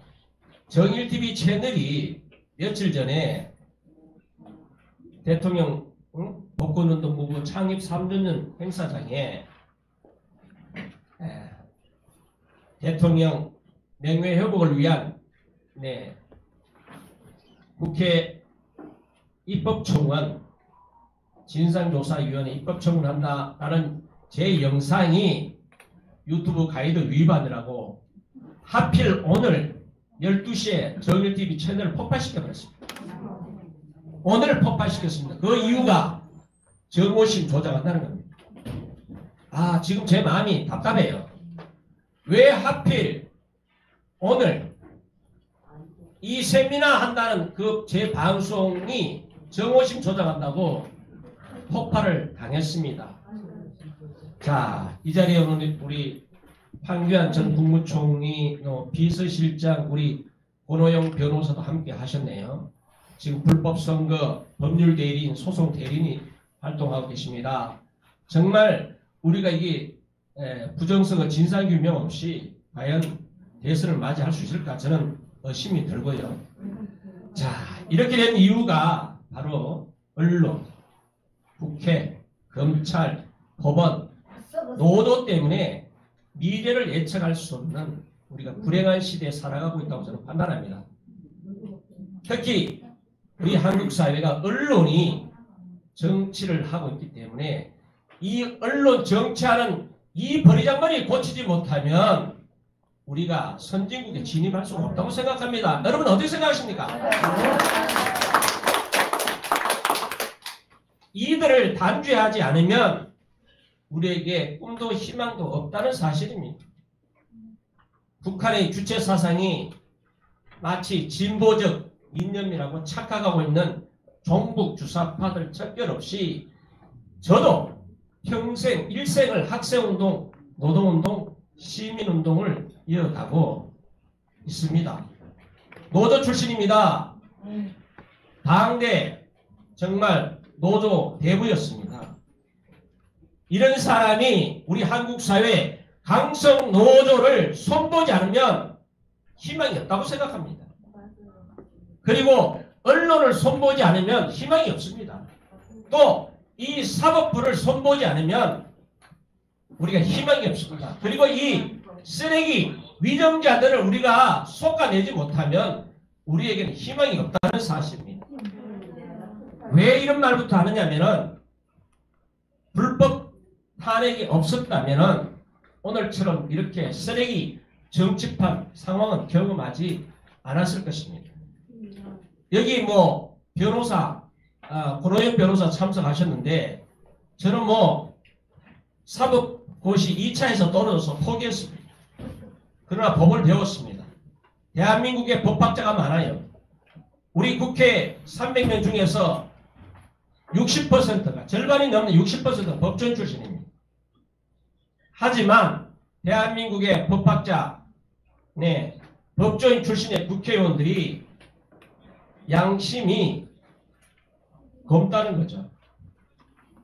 변희재 고문께서 자세히 뭐 태블릿 PC 저도 공감합니다. 이렇게 대통령 박근혜 탄핵은 조작과 네, 선동으로 그리고 마녀사냥 법리에서 네, 탄핵 사법적 탄핵이 아니라 정치적 탄핵이었습니다. 현직 대통령을 구속함으로써 역사에 큰 오점을 남겼습니다. 자, 그러나 우리 국민들 절대 다수는 왜 불법 탄핵인지 잘 모릅니다. 오히려 배운 사람들이 더 잘 몰라요.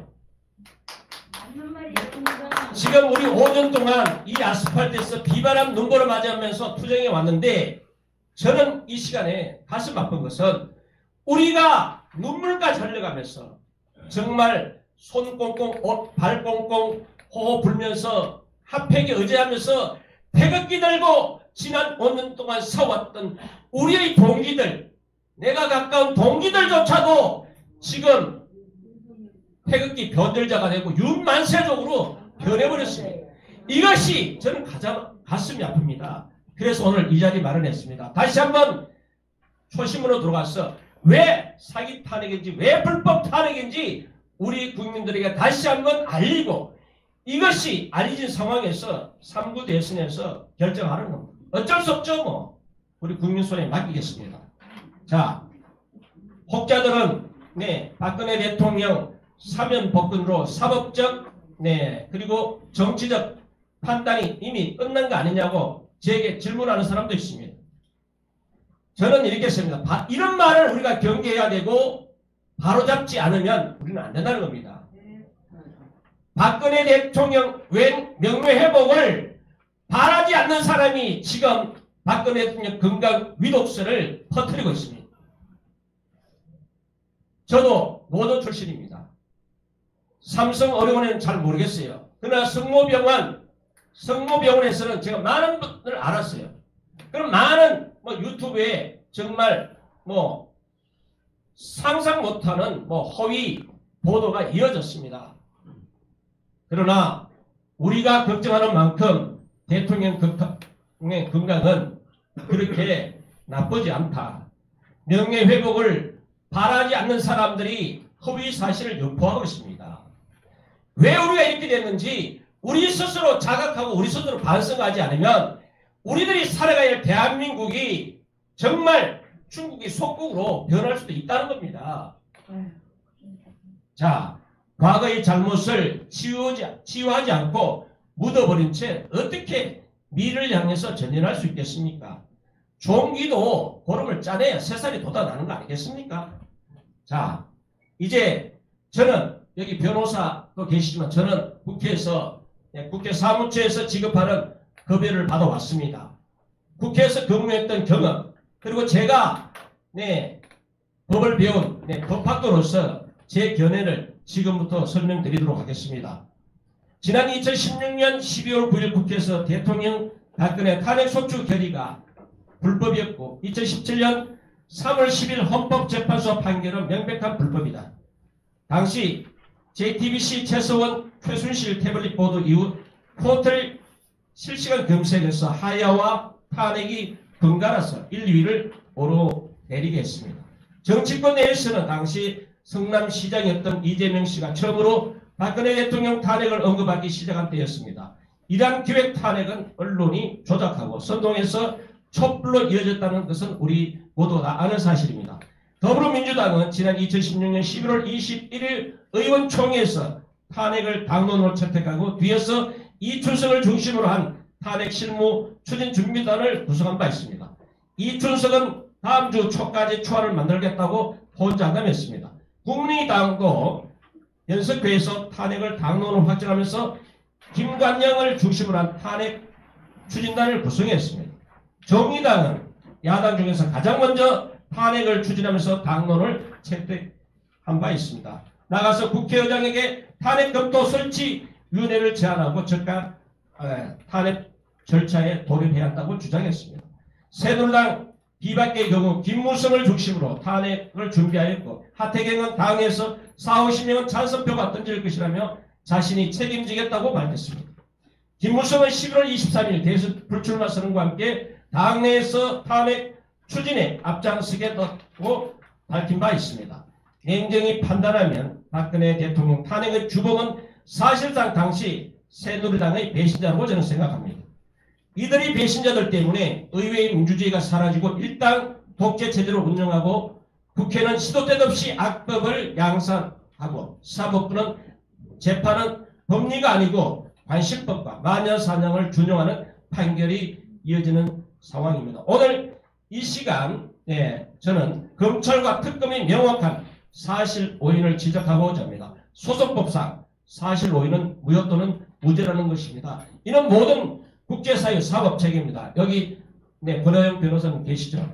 저 법학 공부 제대로 했죠? 네. 특검은 국정농단의 핵, 태블릿 PC의 주인이 최선, 최순실일 것이라고 했습니다. 그런데 최근 최선, 최순실은 태블릿 PC가 내 것이라면 돌려달라고 하니까 재판부는 태블릿 PC가 최순실일 것인지 단정할 수 없다는 답변을 하였습니다. JTBC도 비슷한 논조를 보이고 있습니다. 명백한 사실 오인입니다. 우리말로 거짓말과 아, 선동으로 사건을 만드는 것입니다. 최소은 씨를 대리해서 이동환 변호사가 태블릿 PC를 반환해달라고 재판부에 소장을 지금 제출한 상황입니다. 현직 대통령을 을 탄핵의 수단으로 사용할 때는 태블릿 PC가 주인이 최소원의 뜻이 되고 형이 확정되니까 이제 와서 태블릿 PC는 최소원 씨 것으로 단정할 수 없다는 이 기막힌 사실을 알리는 것이 오늘의 목적입니다.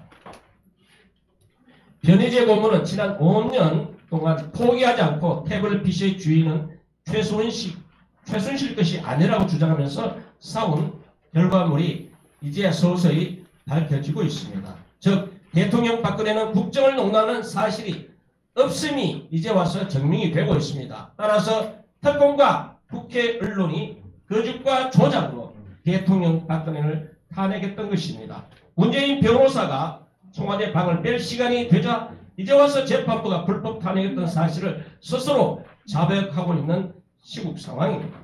무슨 말이 더 필요하겠습니까? 이러한 탄핵 세력을 우리는 반드시 역사의 심판대에 싸워야 하지 않겠습니까? 대통령 박근혜 탄핵 심판은 처음부터 위법한 추가 소추 내지 소추 취소 등 말도 안 되는 탄핵 소추 사유에 대해서 국회의원 300명 중 단 한 명이라도 탄핵 소추안을 모두 읽어만 보았어도 그리고 국회법에 대한 절차적 과정을 살펴만 보았어도 탄핵 소추안은 부결되었거나 폐기되었을 것으로 저는 판단합니다. 모든 국제사회 사법 체계는 중대한 절차적 흠결은 무효 또는 무죄입니다. 변호사님 맞으시죠? 네. 우리나라의 경우 형사, 민사 소송 중에서도 중요한 절차적 흠결과 사실 오인 심리 미지, 미지는 네, 무효 또는 무죄인 것입니다. 이 답은 지난 2017년 3월 10일 헌법재판소 이정미 소장 대행의 판결문에서도 찾아볼 수가 있습니다. 탄핵 소추 사유에 대한 충분한 조사 없이 탄핵 소추자가 작성되었다는 험결도 분명히 있습니다. 탄핵 소추안이 얼마나 부실했으면 헌법재판소 이정미 소장 대행이 판결문에 국회의 탄핵 소추를 존중한다는 내용을 판결문에 삽입했겠습니까? 이 말을 분석하면 탄핵 국회 탄핵 소추안이 소추안에 문제가 많다는 것을 저는 애둘러 표현했다고 봅니다. 헌법재판소 양심 고백이 담긴 판결문이라고 저는 생각합니다. 국가와 헌법을 먼저 생각하는 에드먼드 로스 같은 국회의원이 우리나라 국회의원 300명 중에서 단 한 명만 있었더라도 헌정사에 오점은 남기지 않았다고 저는 판단합니다. 대통령을 탄핵하는 절차를 신속성만 앞세운 불공정한 탄핵 재판으로서 대통령 박근혜는 1730일 동안 인신강음을 당했습니다. 이러한 불행한 사건을 이제 우리 국민들이 바로 잡아야 나가지 않겠습니까? 이제 저는 두 번째로 전국 네, 입법 정부 서명을 운동합니다. 지금 우리나라 국회 특별법으로 제정된 것은 5.18 네, 광주 5.18 진상규명조사위원회가 있고 네, 세월호 진상조사위원회가 있고 그 다음에 천안은 복지 진상조사위원회가 있습니다. 이제는 대통령 탄핵과 관련 진상조사위원회가 특별법으로 제정해서 분명히 이 대통령의 불법 탄핵에 대해서 진상을 국회에서 먼저 조사를 통해서 심의 판단해 주시기를 부탁드립니다. 대통령 박근혜는 헌법과 법률에 의해서 지난 2012년 12월 19일 대한민국 제18대 대통령 선거에서 투표 참여자 과반이 넘는 다수 득표자로 확인돼서 헌법 제70조에 따른 대통령은 임기 5년을 보장받아서 2013년 2월 25일 제69조에 의해 나는 헌법을 준수하고 국가를 보호하며 조국의 평화적 통일과 국민의 자유와 공리의 정진 및 민족문화의 창달에 노력하여 대통령으로서의 직책을 성실히 수행할 것을 국민 앞에 선서하면 따라고 선서하시면서 대한민국 대통령으로서의 직책을 국가와 국민에게 성실히 수행하던 중에 지난 2016년 12월 9일 국회 본회에서 탄핵 소추안을 탄핵 234표로서 가결하고 소추함에 헌법 재판소가 국회 탄핵 소추에 대한 불법 소추안을 각각 또는 기각하지 아니하고 지난 2017년 3월 10일 헌법재판소에서 2016 헌나 1로 탄핵 심판 사건에 대해 위법으로 적철된 탄핵 소추안을 인용하면서 파면 선고했던 사건입니다. 대통령 박근혜 탄핵 심판 사건이 왜 불법인지 설명해 보겠습니다. 국회 탄핵 소추 의결서 수정 제출은 명백한 명백한 국회법 제95조 위반입니다. 탄핵 소추 결정권은 헌법 제65조 와 11조 제1항 제2호 국회법 제130조 내지 134조 탄핵 소추 절차 및 헌법재판소법 제48조 내지 제54조에 규정한 바와 같이 그 결정권은 국가 권력의 삼권 분립 차원에서 국회의 권한으로 주어져 있습니다. 국회는 헌법상의 권한으로서 박근혜 대통령에 대한 국회의 탄핵 소추안은 다섯 개 항의 헌법 위반 행위했습니다. 네개 항의 열 개 혐의 위반이 중대성의 문제 결론으로 정리되어 대통령 박근혜에 대한 탄핵 소추가 발의되었고 국회 제적의원 3분의 2 이상 234인의 결의로 통과된 탄핵 소추 의결서는 국회 소추인에 의하여 헌법재판소에 제출한 바 있습니다. 국회가 먼저 탄핵 소추장에서 뇌물죄, 직권남용죄, 강요죄 형사 위반의 범죄 행위로 하고 지적하면서 탄핵 소추 결의 가부를 묻는 국회 본회의에서 회부하여 가결 요건을 예, 충족시켰다면서 탄핵 소추안을 선포했습니다. 국회는 제출된 탄핵 소추장을 9일 탄핵 심판 심리 과정에서 본회의 의결 절차도 거치지 아니하고 임의로 두 차례에 걸쳐 수정 의결서를 헌법재판소에 수정했습니다. 정부했습니다. 국회가 헌법재판소 2016 헌나 1 대통령 박근혜에 대한 탄핵 심판 사건에서 심리 절차 중에서 의견서를 제출한 탄핵 소추 의결서 수정은 국회법 제95조 상의 수정 동의를 구하지 아니한 심리 미정과 중대한 절차적 험결이므로 명백한 대통령 박근혜 탄핵 소추 의결은 명백한 무효입니다. 네. 국회가 처음 제출한 탄핵 소추장이 아닌 국회가 국회법을 위반하고 탄핵 심판 심리 중에 헌법재판소의 의견서를 수정 제출한 탄핵 소추장 수정서를 헌법재판소가 탄핵 심판의 새로운 도구로 삼았다는 것은 명백한 위법 행위입니다.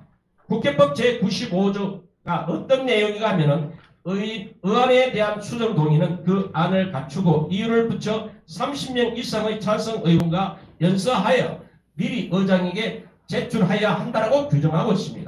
그뿐만 아니라 헌법재판소의 2016 헌나 대통령 박근혜 탄핵 심판에 제출한 탄핵 소추장에 대하여 헌법재판 중 이를 함부로 변경하여 제출한 탄핵 소추 보정서는 국회법상 포기를 거치지 않는 중대한 제가 늘 주장하는 절차적 한계로서 위반이라는 것입니다.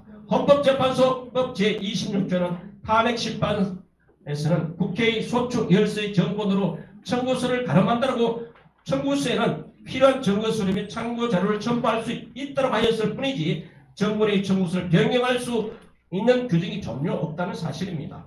탄핵 소추장 변경은 국회 본회의 표결 사항으로서 국회가 탄핵 소추장을 헌법재판소에 제출함으로써 탄핵 심판이 개시되었고 제출된 탄핵 소추장은 마치 재정의 의 결의 절차를 거친 어느 법률과 같아 국회법 제95조 상의 수정동의 절차를 거치지 아니하고는 임의로 변경될 수가 없다는 내용입니다. 법이 이러함에도 국회가 대통령 탄핵 심판에 의하여 표결한 탄핵 소추장은 탄핵 소추에 대한 각 국회의원의 결의 표시와 의사봉을 두드림으로써 표결이 아닌 의사봉으로 가결한 명백한 불법 탄핵이라는 것입니다. 그렇기 때문에 탄핵 심판에 제출된 탄핵 소추장이 헌법재판소에 넘어간 탄핵 심판은 명백한 탄핵 소추 의결서를 헌법재판 관련 제를 바꿔서 국회는 탄핵 소추장을 보정 변경함으로써 국회의 표결 절차도 없이 변경하여 헌법재판 제출한 것은 명백한 험결이 있습니다. 이렇게 헌법재판소의 제의로서 심판 청구인 국회가 담아봐요, 담아봐요 소추 의결서 임의로 변경하였다는 위법 사실이 존재로서 탄핵 심판 결정의 근거된 이미 수정 제출된 소추장의 보정은 명백한 무혐의로 대통령 박근혜는 국회에서 탄핵이 이루어지지 않았으므로 국회가 처음 제출한 탄핵 소추장이 법률적 하자에 적합하지 않으므로 헌법재판소는 각각 또는 기각이 결정하여야 함에도 불구하고 정작 헌법수 의지가 없었던 헌법재판 8인에 의하여 법치가 무너진 나라가 되고 말았습니다. 지난 2017년 1월 19일 헌법재판소 재판장의 권성동 탄핵 소추장은 소추위원장은 구체적 범죄 사실에 대한 유무죄 형사 재판에서 가려야 할 사항임에도 불구하고 탄핵 수찬에 포함된 것은 국회가 탄핵 심판을 잘못 이해한 것이라고 저는 생각합니다. 새로운 소추 의견서를 헌재에 제출하겠다고 진술함으로써 우리 스스로 잘못을 인정하고 이로 바로잡기 바로잡기로 한 것이라고 진술을 한 것은 소추자인 국회가 스스로 대통령 박근혜 서- 탄핵 소추 의결서 내용이 잘못되었다고 밝힌 것과 같이 탄핵 소추 위원장의 그런 법정 진술에 따라서 탄핵 재판은 무효 재판이었습니다. 원래 국회는 검찰이 공소장을 근거로 탄핵을 의결했던 것이므로 국회 자신이 설치한 특검과 국정조사위원회의 조사가 끝난 것도 기다리지 아니하고 서둘러 기소한 것으로서 형사적 책임이 없는 세월호 7시간 행적을 촛불 시위대 기소에 눌려서 소추안에 넣고서 항목이, 너, 어, 항목이 너무 많으면 적당히 줄여서 심리하고 헌재를 압박하여, 압박하여 법리에 맞지 아니하는 탄핵 소추안을 인제 와서 탄핵 소추안이 잘못되었다고 밝힌 희대의 사기 재판이었습니다. 탄핵 소추장은 당사자의 법정 합의로 고정할 수 없습니다. 헌법재판소 헌법재판에 관한 일반 원칙으로 헌법재판소법 제28조 1항 재판장은 시- 심판 청구가 부, 부합 부적합하거나 고정할 수 있다고 인정될 때는 상당한 기간을 정하여 고정을 요구하여야 한다고 규정하고 있습니다. 하지만 국회의 탄핵 소추 의결을 거쳐온 탄핵 소추는 헌법재판에서 심판 청구가 부합 부적하거나 보정할 수 있다고 인정하는 상황이 에, 해당한다면 그 보정기간은 심리 기간이 사립, 사립하지 아니하는 가통법 제4항 보정명령서의 제차 어, 국회의 의결로서 탄핵 소추에 대한 의결 절차를 거치는 과정으로서 보증이 이루어져야 했으면 했습니다. 그러나 헌법재판소의 적법한 보증명령 절차나 이에 따른 국회에서의 탄핵 소추에 대한 절차를 거치는 과정이 없었기 때문에 명백한 중대한 절차적 험결에 해당하므로 탄핵이 무효인 것입니다. 탄핵 심판의 경우는 형사소송에 관한 법령을 준용하고 있습니다. 헌법재판에 있어서 준용 규정으로 헌법재판소법 제40조 제1항에서 헌법재판소의 심판 절차에 관하여는 이 법에 특별한 규정이 있는 경우를 제외하고는 헌법재판의 성질에 반하지 아니하는 한도에서 민사소송에 관한 법령을 준용한다. 탄핵 심판의 경우는 형사소송에 관한 법령을 준용하고 권한쟁의 심판 및 헌법 소원 심판의 경우는 행정소송임을 함께 준용한다로 규정하고 있습니다. 따라서 탄핵 심판에서 형사소송법을 준용하고 있으니 형사소송상의 공소장과 같은 탄핵 심판에서 탄핵 소추의 결- 의결서를 공소장의 개념에 준용하지 않을 수 없을 것입니다. 검사는 공소장에 범죄의 일시, 장소와 방법을 명시하여 사실을 특정할 수 있도록 하야 하는 것, 것으로 이는 법원이 심판 대상을 한정하고 방어의 범위를 특정하여 그 방어권 행사를 쉽게 하기 데 있습니다. 법원은 검사가 공소 제기한 범위 내에서만 심판해야 한다고 대법원 2020 3월 12일 판례도 있습니다. 공소장 1번주의는 재판제도의 생명이라 할수 있는 재판의 공정성을 보장하기 위한 불변의 원칙으로서 그 원칙에 반하는 재판은 무효입니다.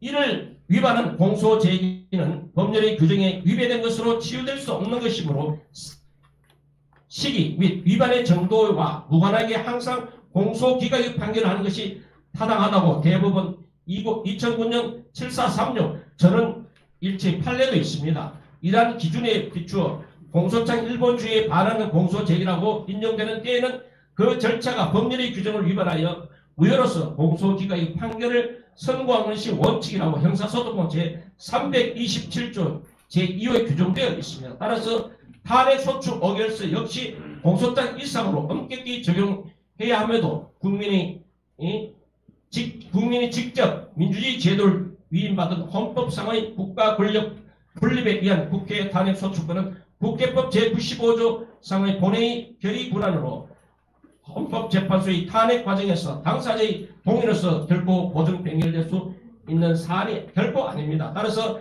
탄핵 심판에 제출된 탄핵소추 의결서가 보증 또는 변경되어야 한다면 국회법 제95조의 절차적 과정을 거쳐서 보증을 요구할 수 있지 탄핵 심판의 심리 법정에서 양당 음, 당사자의 임의 동의로서 보증이나 변경을 할 수 없는 것은 명백하다 할 것입니다. 이러한 절차적 어려움을 익히 인지하고 있었던 탄핵 심판에 관련 헌법재판관 8명 피소주인 대통령 박근혜를 파면한다라는 규정을 미리 정해두고서 중대한 절차적 판결과 탄핵 판단이 혐의가 된 사실의 증거조차도 없이 촛불 광고지와 검찰의 날치기 내 수사 보고서를 증거로 삼아서 대통령 박근혜에게 헌법소 의지가 없다고 하여 위법한 파면 결정에 이르게 되었고 결국 형사 소송법을 준용하고 있는 헌법재판의 탄핵 심판은 탄핵 소추인 국회를 위하여 국회의 의결 국회가 의결한 탄핵 소추장을 본의 절차를 생략하고 임의로 변경하도록 제의하는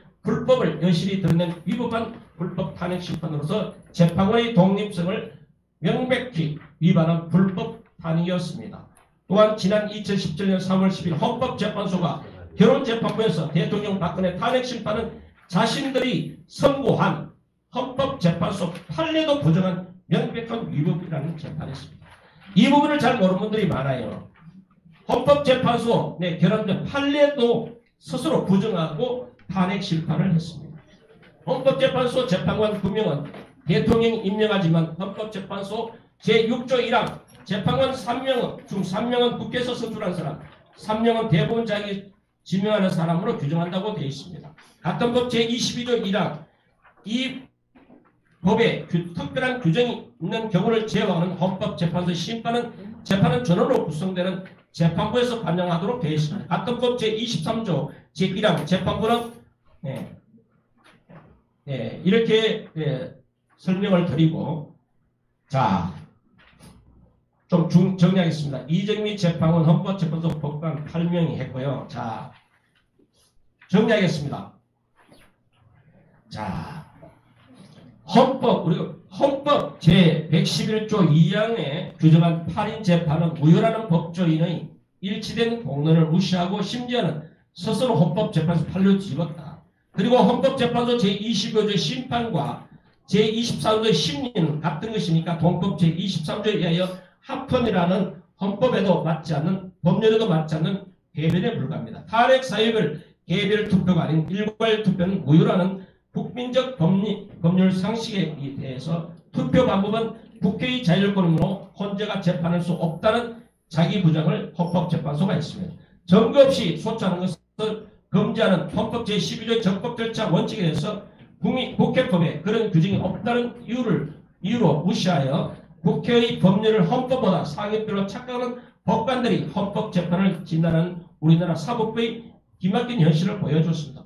원칙적으로 잘못된 국회의 탄핵소추장을 소위 쟁점 정리라는 이런 말에 멋대로 뜯어 고쳐서 그 고친 소추장을 재판하는 사법 만행을 재판 판례는 이름을 합리화시켰습니다. 자신들이 만든 새 탄핵 소추장으로 자신들이 재판하여 불고 분리의 재판 기본을 짓밟아 버렸습니다. 국회는 어떤 위헌적인 방법과 절차로 대통령을 탄핵해도 대통령은 다- 다툴 수 없다는 그야말로 삼권 분립의 기본 원리도 무시한 불법 판결이었습니다.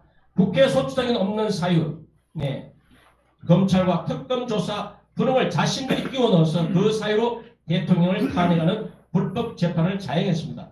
국회가 중대한 사유라고 내세운 예, 사유는 무죄라고 하면서 국회가 중대하지 않다고 한 사유를 중대한 사유라면서 그 사유를 대통령을 탄핵한 초법적인 정치 재판을 하였습니다.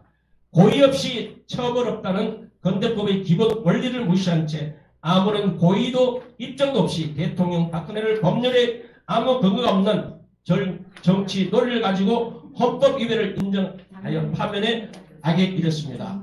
이정미 재판관이 퇴임하는 3월 13일에 맞춰서 재판을 끝내기 위해 피청구인 저의 모든 주장과 증거 신청을 1917년 2월 20일에 기각하고 결심하는 편파적인 졸속 재판이었습니다.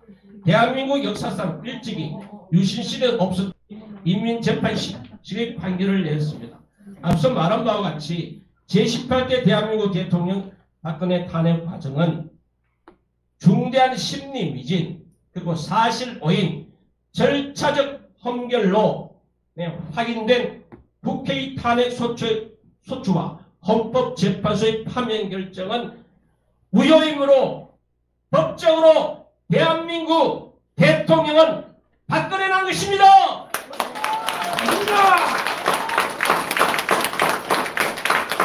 따라서 박근혜 대통령의 권한 회복이 법치 회복의 길입니다.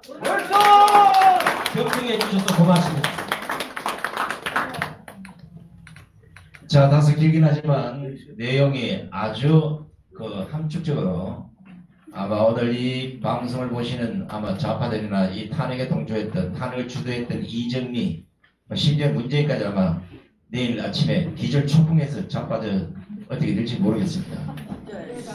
자, 지금 아까 이제 마지막에 우리 정일 대표께서 박근혜 대통령이 이 진짜 불법 탄핵에 이 모든 게 홀가분해지면 원상태로 돌아가야 되잖아요. 그죠? 다시 대통령 자리에 가서 마지막 임기를 다 채우고 나와야 되는데 이걸 하려면 아까 우리 바로 베니대 대표가 말씀하신 그런 메시지를 내야 된다는 것에 대해서는 여러분 좀 동조해 주시기 바랍니다. 어, 말씀 중에 뭐 헌법수 의지가 없다고 이렇게 이정비가 읽어내렸는데 지금 문재인 4년 10개월 동안 아예 헌법수 의지가 없어요. 그럼 이런 인간들은 문재인하고 탄핵 그, 그 심판했던 헌재 8명하고 똘똘 묶어가지고 한 몸에 감옥에 보내야 되지 않겠냐. 아, 감옥 보낸다 이게 되게 좋아하네. 감옥을 보내려면 이런 분들이 대통령이 돼야 됩니다.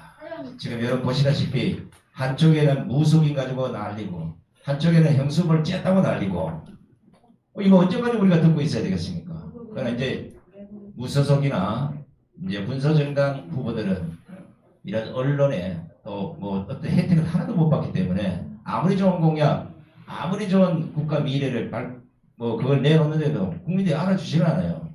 그래서 오늘 물론 이제 토론에서 발, 발제에 대한 토론도 하겠지만 이제 우리 아마 최대지 후보의 이제 아주 국가 미래를 위한 이런 공약도 조금씩 말씀드리더라도 이해를 좀 하십시오. 그 이런 기회를 줘- 좀 줘야 되지 않겠습니까? 그죠? 네. 자, 이제 마지막으로 토론에서 우리 최대집 대선 후보의 말씀을 들어보도록 하겠습니다.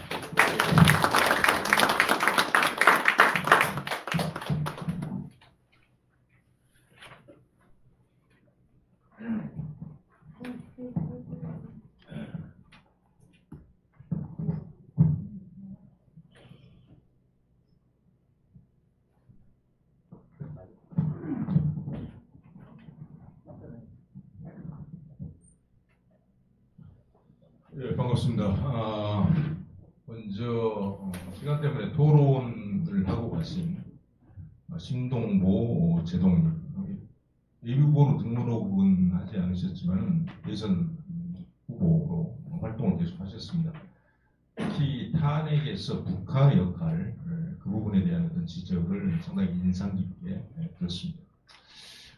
변희재, 대표 발제에서는 어, 계속해서 어, 여러 가지 어, 증거들을 밝히고 어, 또 어, 굉장히 좋은 저작물을 어, 발간을 하고 해서 어, 사실상 JTBC 태블릿 PC의 어, 진실을 거의 다 규명해 놓은 어, 지금 그런 상황인데 거기에서 어, 핵심적인 조작의 증거들 그것을 어, 자료에 몇개 어, 첨부를 해서 어, 잘 보았습니다. 그리고 박근혜 대통령께서 어, 조만간 한 일주일 이내에 이쪽 기술이 되겠죠. 조만간 어, 탄핵 문제에 대해서 직접적으로 말씀을 하셔야 된다. 토론을 해야 된다. 어, 전적으로 동의합니다.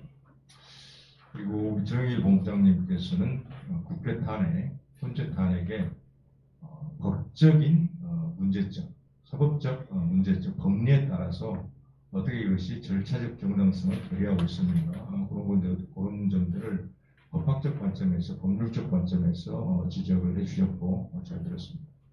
오늘 제가 말씀드릴 것은 말씀드리고자 하는 것은 음, 이건 탄핵이 어, 위헌적이고 불법적이고 어, 위헌적이고 불법적인 탄핵 그리고 사기와 날조 의한 탄핵이 예, 도대체, 어, 도대체 어떤 점에서 잘못되는가 그 말씀은 제가 드리지 않겠습니다. 어, 오늘 벌써 여러분들께서 말씀을 하셨고 많은 자료에 이미 나와 있습니다. 물론 그 자료가 완벽하다는 건 아니고 앞으로도 충분히 추가적인 어떤 사실조사, 증거조사에서 자료들이 더 나와야 되고 또 국민들이 어, 이해하기 쉬운 그런 어떤 많은 다양한 자료들도 나와야 될 것으로 생각합니다. 오늘 제가 마- 말씀드리고 싶은 것은 이 탄핵 무효투쟁을 지금은 어, 우리가 오늘 1월 27일 오늘 이 시점에서 세미나를 하면서 어, 탄핵이 무엇이 잘못되었는가 또 어떻게 바로잡을 것인가 아, 그것을 논할 때 우리가 가장 아, 중요하게 생각해야 될 점은 작년 12월 31일 이전은 박근혜 대통령이 사면 복권을 받지 못한 그런 시기였습니다. 그때 이루어지는 논의하고 12월 31일 사면 복권이 이루어진 박근혜 대통령께서 사면 복권이 이루어진 이, 이 시점에서 이제는 탄핵을 어떻게 무효화시킬 것인가 하는 탄핵 무효 투쟁이 투쟁의 방법론이 달라져야 된다는 것이죠. 어떻게 달라져야 될 것인가? 아, 거기에 대해서 어, 제가 여러 사람들과 토론한 것, 또 그리고 그런 음, 어, 생각한 것들을 아직 어, 충분히 제가 검토하고 정리는 못했지만 한번 말씀을 드리고 조금 이따 어, 질의응답 시간에 한번 같이 말씀도 나눠보도록 하겠습니다. 일단은 어, 2017년 3월 10일 날 어떻게 됐든지 예, 헌재에서 탄핵이 이루어졌고 그 여파로 해서 이제 19대 대선이 예, 치러졌지 않습니까? 완전히 비정상적인 대선이었습니다. 어, 3월 10일 날 탄핵이 이루어지고 4월 달에 선거운동을 거쳐서 뭐 5월 초에 예, 새로운 대통령 문재인 대통령이 이른바 선출이 됐죠. 어, 제대로 검증도 하지 못하고 각 후보들을 정말 얼렁뚱땅 대통령이 문재인이 되어버렸습니다. 그래서 어, 정말 이상한 사람이 지금 5년째 대통령을 하면서 나라를 완전히 망가뜨렸습니다. 어, 문재인 정부 지금 5년에 가까운 시기에 각 어, 사회 정책 영역에서 어, 국가의 어떤 근본적인 어, 앞으로의 어떤 어, 비전, 성장 동력 이것을 장식한 것들은 앞으로 추후 1, 2년 이내에 광범위한 자료조사 연구를 통해서 어, 정확히 밝혀내야 될 것으로 봅니다. 최근에 저는 그 문제를 좀 검토를 했는데 어, 내용이 상당히 방, 방대합니다. 아무튼 그런 잘못된 탄핵의 여파로 문재인 대통령이라는 사람이 대통령직을 지금 수행을 했고 이제 거의 다 해가고 있고 이번 20대 대선도 어, 저는 어, 2017년 탄핵 사태 여전히 그 부산물이라고 생각하고 있습니다. 그렇지 않고서야 우리가 민주당 후보로 나와 있는 이재명 후보 사실 우리가 상식적으로 생각해서 무슨 고도 정치적 판단이 아니라 정상적이지 않은 사람이지 않습니까? 어떻게 우리가 물론 저는 또 여기 모신 분들은 민주당에 대해서 정책적으로 그리고 그 사람들이 갖고 있는 사상 이념에 대해서 어떤 반대하고 비판적인 입장을 가지신 분들이 전부라고 저는 생각합니다. 하지만은 사상과 이념, 정책에 대한 입장 차이를 떠나서 그 인간의 어떤 인간의 심성, 그다음에 그 사람이 갖고 있는 어떤 도리, 그 사람이 수행하는 또 그다음 그 사람이 행하는 언어 이런 것들을 검토했을 때 과연 이렇게 상식과는 거리가 먼 사람이 과연 어떻게 민주당 집권 여당의 대통령 후보가 될 수 있는가? 어, 며칠 전에 그 성남 성대원 시장 가서 또 저기 소년 공이었는데 뭐 아버지가 어떻고 어머니가 어떻고 뭐 또 돌아가신 형님을 이거 제가 그거 뭐 질질 짜면서 한 15분 20분 얘기를 하던데 그 그걸 쭉 한번 들어봤는데 참 혐오스러운 영상이었습니다. 와, 봤습니다. 제가 또 이재명 계속 조사했기 때문에 봤는데 돌아가신 형 이재선 씨를 이미 돌아가셨습니다. 2017년에 암 말기, 폐암 말기 진단을 받고 이미 돌아가셨는데 돌아가신 분을 정말 회- 공인회계사로서 시정의 자기 개인의 이득을 위해서 시정의 개입 내 동생이 성남시장인데 내 성남시장 형으로서 내 어떤 시정에 개입해서 내 어떤 정치적 이득을 얻- 얻어보겠다 이런 식으로 아주 못된 행동을 한 사람으로 그렇게 또 규정을 해가지고 돌아가신 형을 또 죽여버리고 있더라고요. 정말 그런 식으로 해서 대통령 돼도 되는 겁니까? 안 됩니다. 구파 이재명 읽어보신 분들 많으실 겁니다. 거기에서 그 형님, 형수, 그다음에 그 조카 이재명이라는 사람하고 그처 어, 김혜경 씨, 혜경 씨라고 하는 그분들이 보낸 문자 메시지 보셨죠? 또 백종선이라는 사람이 보낸 문자 메시지 보셨죠? 제가 29금이라고 했습니다. 29금. 어디 저기 청년들도 볼까 무서울 정도의 그런 무시무시한 호러 영화에 나오는 문자예요, 사실. 그런 내용을 갖다가 그러면은 자기가 자기가 잘못한 부분은 지금 그 일반에 많이 알려진 것보다 훨씬 더 잘못 잘못한 그 큰형을 정신병원에 강제 입원시키기 위해서 한 일들이 많고 저는 그 관련된 공소장도 그 이재명을 어, 책이 진행하는 과정 중에서 제가 여러 번 제 의견들을 어, 그래서 제가 계속 관- 관계를 했었기 때문에 아, 알고 있고 이재명이 어떤 일을 벌였는지 더 깊숙이 지금 언론에 나온 것보다 알고 있습니다. 그런데 바로 그런 형에 대해서 그런 형에 대해서 자기가 어떻게든 다시 살아보고 어, 그 녹취록을 어떻게 이겨서 이겨내서 표를 얻어서 대통령이 돼, 돼보겠다고 형님을 사실과도 완전히 다른 내용을 이야기하면서 눈물을 질질 짜가면서 또 형님을 악인 중에 악인으로 만들어버려요. 어떻게 이런 사람이 있을 수가 있습니까? 벌써 그러면 국힘으로 넘어와서 윤석열이라는 사람은 그럼 정상적인 사람입니까? 지금 윤석열을 좌익들이 좌익 쪽에서 계속 공격을 하고 있잖아요. 좌익들의 공격이 크게 안 먹히고 있어요. 국민들한테 왜 안 먹히느냐? 본질적 비판을 좌익들은 자기 무슨 딜레마적 상황에 빠져 있어서 윤석열에 대해서 본질적 비판을 하지 못합니다. 윤석열에 대해서 본질적 비판을 할 수 있는 사람들은 바로 저희들입니다. 박근혜 대통령 탄핵 관련해서 당신이 죄 없는 사람한테 무고하게 뇌, 그 죄를 뒤집어 씌우고 증거를 조작하고 증언을 조작하고 부당한 법리를 만들어서 당신은 완전히 45년 구형하고 사람을 죽일, 죽을 정도로 재판을 진행해서 22년 형을 형을 받게 만들었잖아. 그리고 소위 문재인 정부의 피정치보복급 적폐청산 수사에서 최첨단에서 그 무슨 사람 물어 죽이는 게 피플 테리어 같이 달려 나와가지고 물어뜯어서 물어뜯어서 수 수백 명 구속시킨 사람이 누굽니까? 그게 정당한 어떤 법 집행이고 정당한 어떤 법치에서 정당한 법리에서 확실한 어떤 소명된 어떤 범죄 사실에 대해서 내리는 어떤 정당한 형벌이었습니까? 아니었지 않습니까? 관련돼서 자살한 사람만 4명이 됩니다. 200명이 구속되고 바로 그런 우리나라 대한민국 건국의 최악의 검사, 검사도 아니죠 검사. 가령 의사가 환자 수술 잘해서 살려내라고 칼을 줬더니 그 칼로 환자를 죽여버리면 수술할 때 자기가 실험하면서 죽여버리면 어떻게 하겠습니까? 그런 사람은 사형을 시켜야죠 사형. 그게 의사입니까? 윤석열 검사라는 칭호를 쓸 수 없는 거예요. 검사는 인권보, 약자보, 범죄 피해자를 보호하고 범죄 피해자로 들어온 사람도 죄가 없을 때는 그 사람이 억울함을 벗겨주는 것도 검사의 의무입니다. 검사 직업적 책무란 거예요.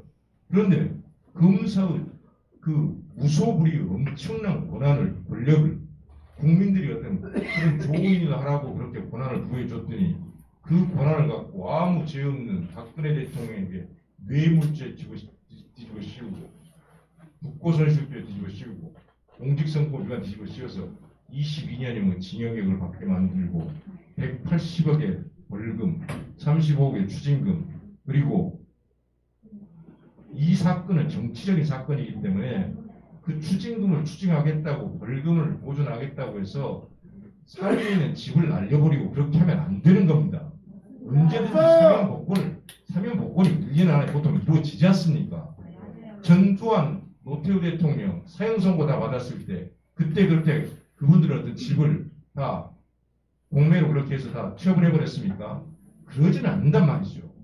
이것은 박근혜 대통령에게 대해서 윤석열 특검수사팀장, 서울중앙지검장, 검찰총장 이 사람이 한 것은 최악의 정치보복이고 개인적인 사적 복수고 검사로서는 있을 수 없는 우리 대한민국 사회에서 아, 반드시 그 역사를 남겨야 될 어떤 그런 어, 사람입니다.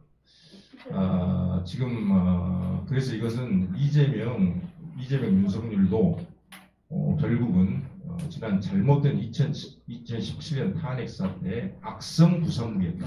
아, 이런 점을 말씀을 드리겠습니다. 그래서 이번 20대 대선이 엉망진창 대선, 이상한 비정상 대선이 되버린 것이고 누가 되든지 간에 저는 그렇게 생각합니다. 이 누가 대통령이 되든지 간에 그것은 아무런 정권 교체도 아니고 정권, 정권 연장도 아니고 아무것도 아니다. 누가 되든지 간에 대정부 투쟁, 정권 타도 투쟁의 대상이 돼야 된다. 저는 그런 생각을 갖고 있고 그런 방향으로 앞으로 싸워 나갈 것이고 박근혜 대통령께 어, 어, 기대하는 말을 한 가지 말씀드리고 제 말씀을 맺도록 하겠습니다.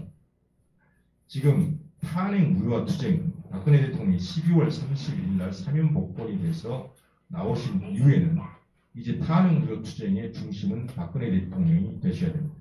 그게 정치적 투쟁, 사법적 투쟁이 있는데 정치적 투쟁은 가장 핵심은 최대한 빨리 이 자유민주 헌정 체제를 무너뜨려버린 위헌 불법 탄핵, 사기 날조 조작 탄핵의 핵심 주역은 바로 국민의힘 대선 후보 윤석열이었다. 이 점을 명확하게 지적하는 것. 이것이 탄핵 무효 투쟁의 시작이면서 가장 핵심적인 사안입니다. 이 점을 말씀을 해주셔야 됩니다. 그리고 두 번째, 박근혜 대통령께 부탁드리고 싶은 말씀은 이제는 사면복권에서 자유의 몸이 일단은 되어 있습니다. 그렇기 때문에 박근혜 대통령의 건강 문제를 더 이상 언론을 통해서 이상한 유튜브 매체를 통해서 듣지 않았으면 좋겠습니다. 박근혜 대통령께서 박근혜 대통령을 지지했던 탄핵 무효를 우리가 그렇게 줄기차게 6년 동안 우리 목숨을 던져가면서 그렇게 싸워왔던 사람들이 가장 걱정한 것 중 하나가 박근혜 대통령 건강, 건강 문제였습니다. 이제는 박근혜 대통령께서 얼마든지 메시지를 낼 수 있는 상황이기 때문에 박근혜 대통령 목소리로 박근혜 대통령에 대한 건강 이야기를 정확한 정보를 어, 저희들에게 전달해 주셨으면 좋겠다. 어, 그 말씀을 어, 드리겠습니다. 그리고 사법적인 투쟁으로 어, 지금 최소원 원장이 정말 가열차게 어, 눈물겹도록 열심히 투쟁을 하고 있습니다. 하지만 정말 이 모든 민사소송, 손해배상 소송, 어, 진실을 바로잡는 그런 어떤 소송의 투쟁 당사자는 박근혜 대통령이 될 수밖에 없습니다.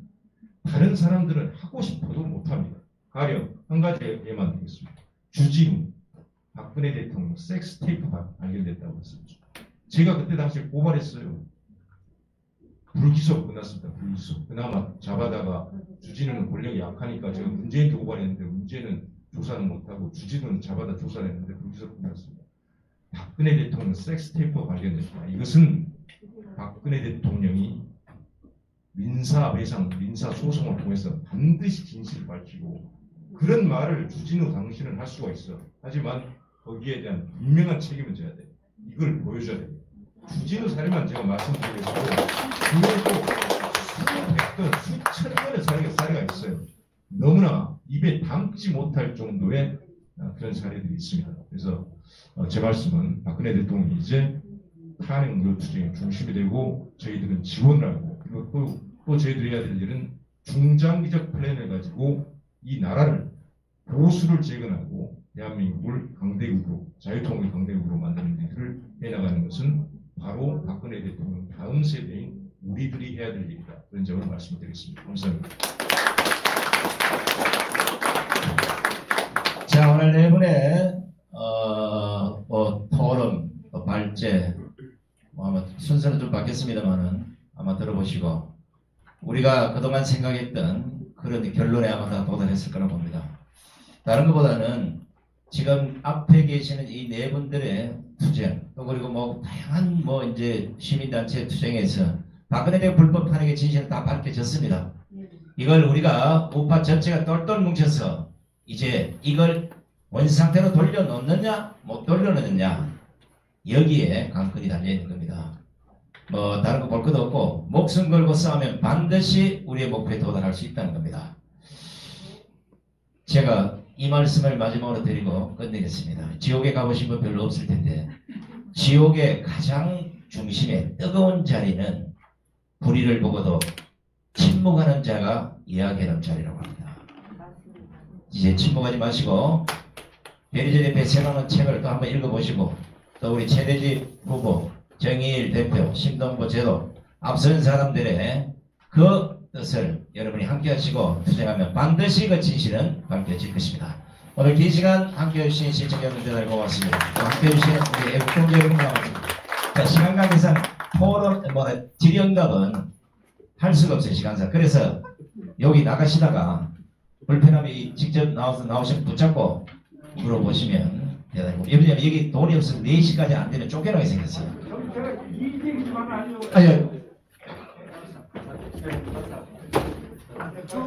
오랜 시간 그 세미나 어, 말씀을 경청해 주신 여러분께 감사드리고 또 공지사항을 말씀드리겠습니다. 저희 그 단체에서 작은 그 기념품을 준비를 했습니다. 가실 때 어, 저희가 준비한 건 타올입니다. 한 번도 빠지지 마시고 어, 타올을 받아가 주시기 바라고 어, 긴 시간 멀리서 바쁜 시간을 내어주셔서 오신 여러 내빈 여러분 어, 유튜버 여러분 어, 정말 감사드리고 다음에 가열찬 그 외국 투쟁을 하면서 여러분도 한번 어, 화이팅 하시고요. 오늘 발제 토론자로 오신 여러분들께 박수 한번 다시 한번 주시죠. 마지막으로 어, 저희 이제 케이크 커팅 한번 있고요. 하겠습니다.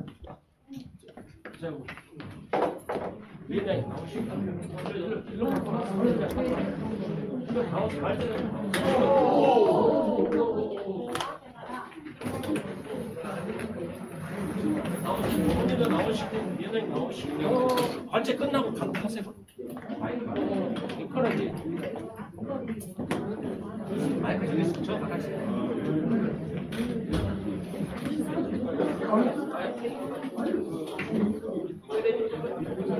해?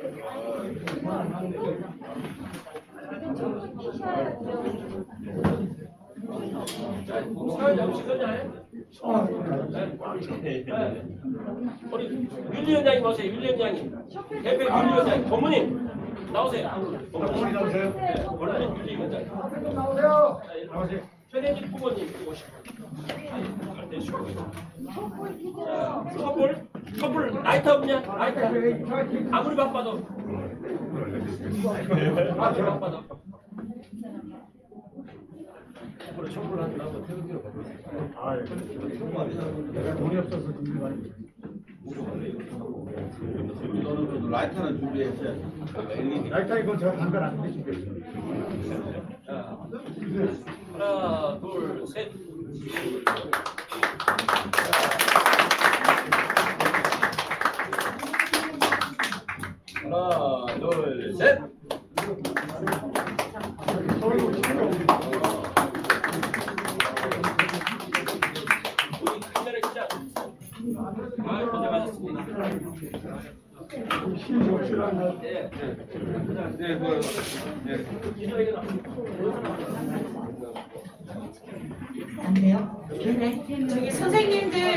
잠시 한마디만 하겠습니다. 잠시만 주목해 주세요. 제가 박근혜 대통령님 불법 탄핵을 소송을 하려고 혼자 정보를 되게 많이 찾아봤어요. 민원도 하고 했는데 어, 다른 분들이 뭐 헌법 65조니 68조니 5만 법을 다 얘기하는데 제가 알아낸 거는 이게 첫째 국회법 130조가 잘못됐습니다. 국회법 130조에 의하면 탄핵 소추를 발의를 해야 되는데 이 발의 자체가 잘못됐습니다. 그 발의에 뭐라고 되어 있느냐? 소추 대상자의 성명, 직위와 탄핵 소추의 사유, 증거 그리고 그 밖에 조사에 청구될 만한 자료가 있어야 탄핵 소추가 발의된다고 했는데 헌법재판소의 이정미가 말했듯이 밝혀진 증거가 하나도 없다라고 분명히 얘기했어요. 탄핵을 할 때 그리고 파면한다고 했습니다. 그 말 자체가 이미 이게 탄핵 소추가 이루어지면 안 된다는 걸 밝혔기 때문에 여러분들은 소송을 할 때 뭐 헌법 65조니 68조니 여러 가지를 하지만 이게 탄핵 소추가 발의가 돼야 탄핵이 이루어지는 거거든요. 그래서 국회법 130조가 잘못되었습니다. 이 부분을 소송을 하고 위헌이다라고 소송을 하면은 이 탄핵 자체가 무효가 됩니다. 그리고 어, 이 탄핵을 할 때 박근혜 대통령이 바로 전에 노무현도 탄핵이 됐었어요. 특히 노무현 같은 경우에는 대통령으로서의 헌법, 헌법을 지킬 의지가 없다라고 하는 건 박근혜 대통령님하고 똑같았습니다. 그런데 노무현은 다른 게 있다면 뇌물죄가 성립이 됐습니다. 그런데도 그 탄핵가 나중에는 헌재에서 기각이 됐어요. 그런데 박근혜 대통령님은 뇌물죄가 없다고 그랬어요. 밝혀진 증거가 없다고 했는데 이게 성사가 됐거든요. 거기에는 국회법 130조가 해당이 된 것입니다. 그래서 이 130조가 위헌입니다. 네, 요걸 알아주시길 바랍니다. 수고하셨습니다.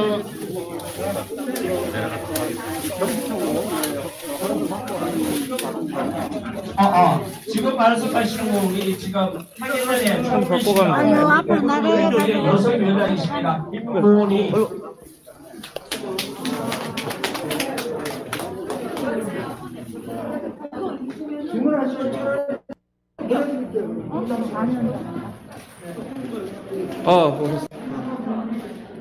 거기 가냐?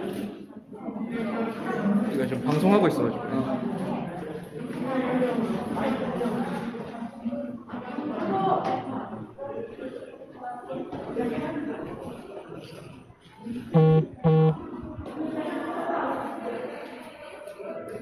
네, 세미나 마쳤고요. 저는 마포로 넘어가서 예,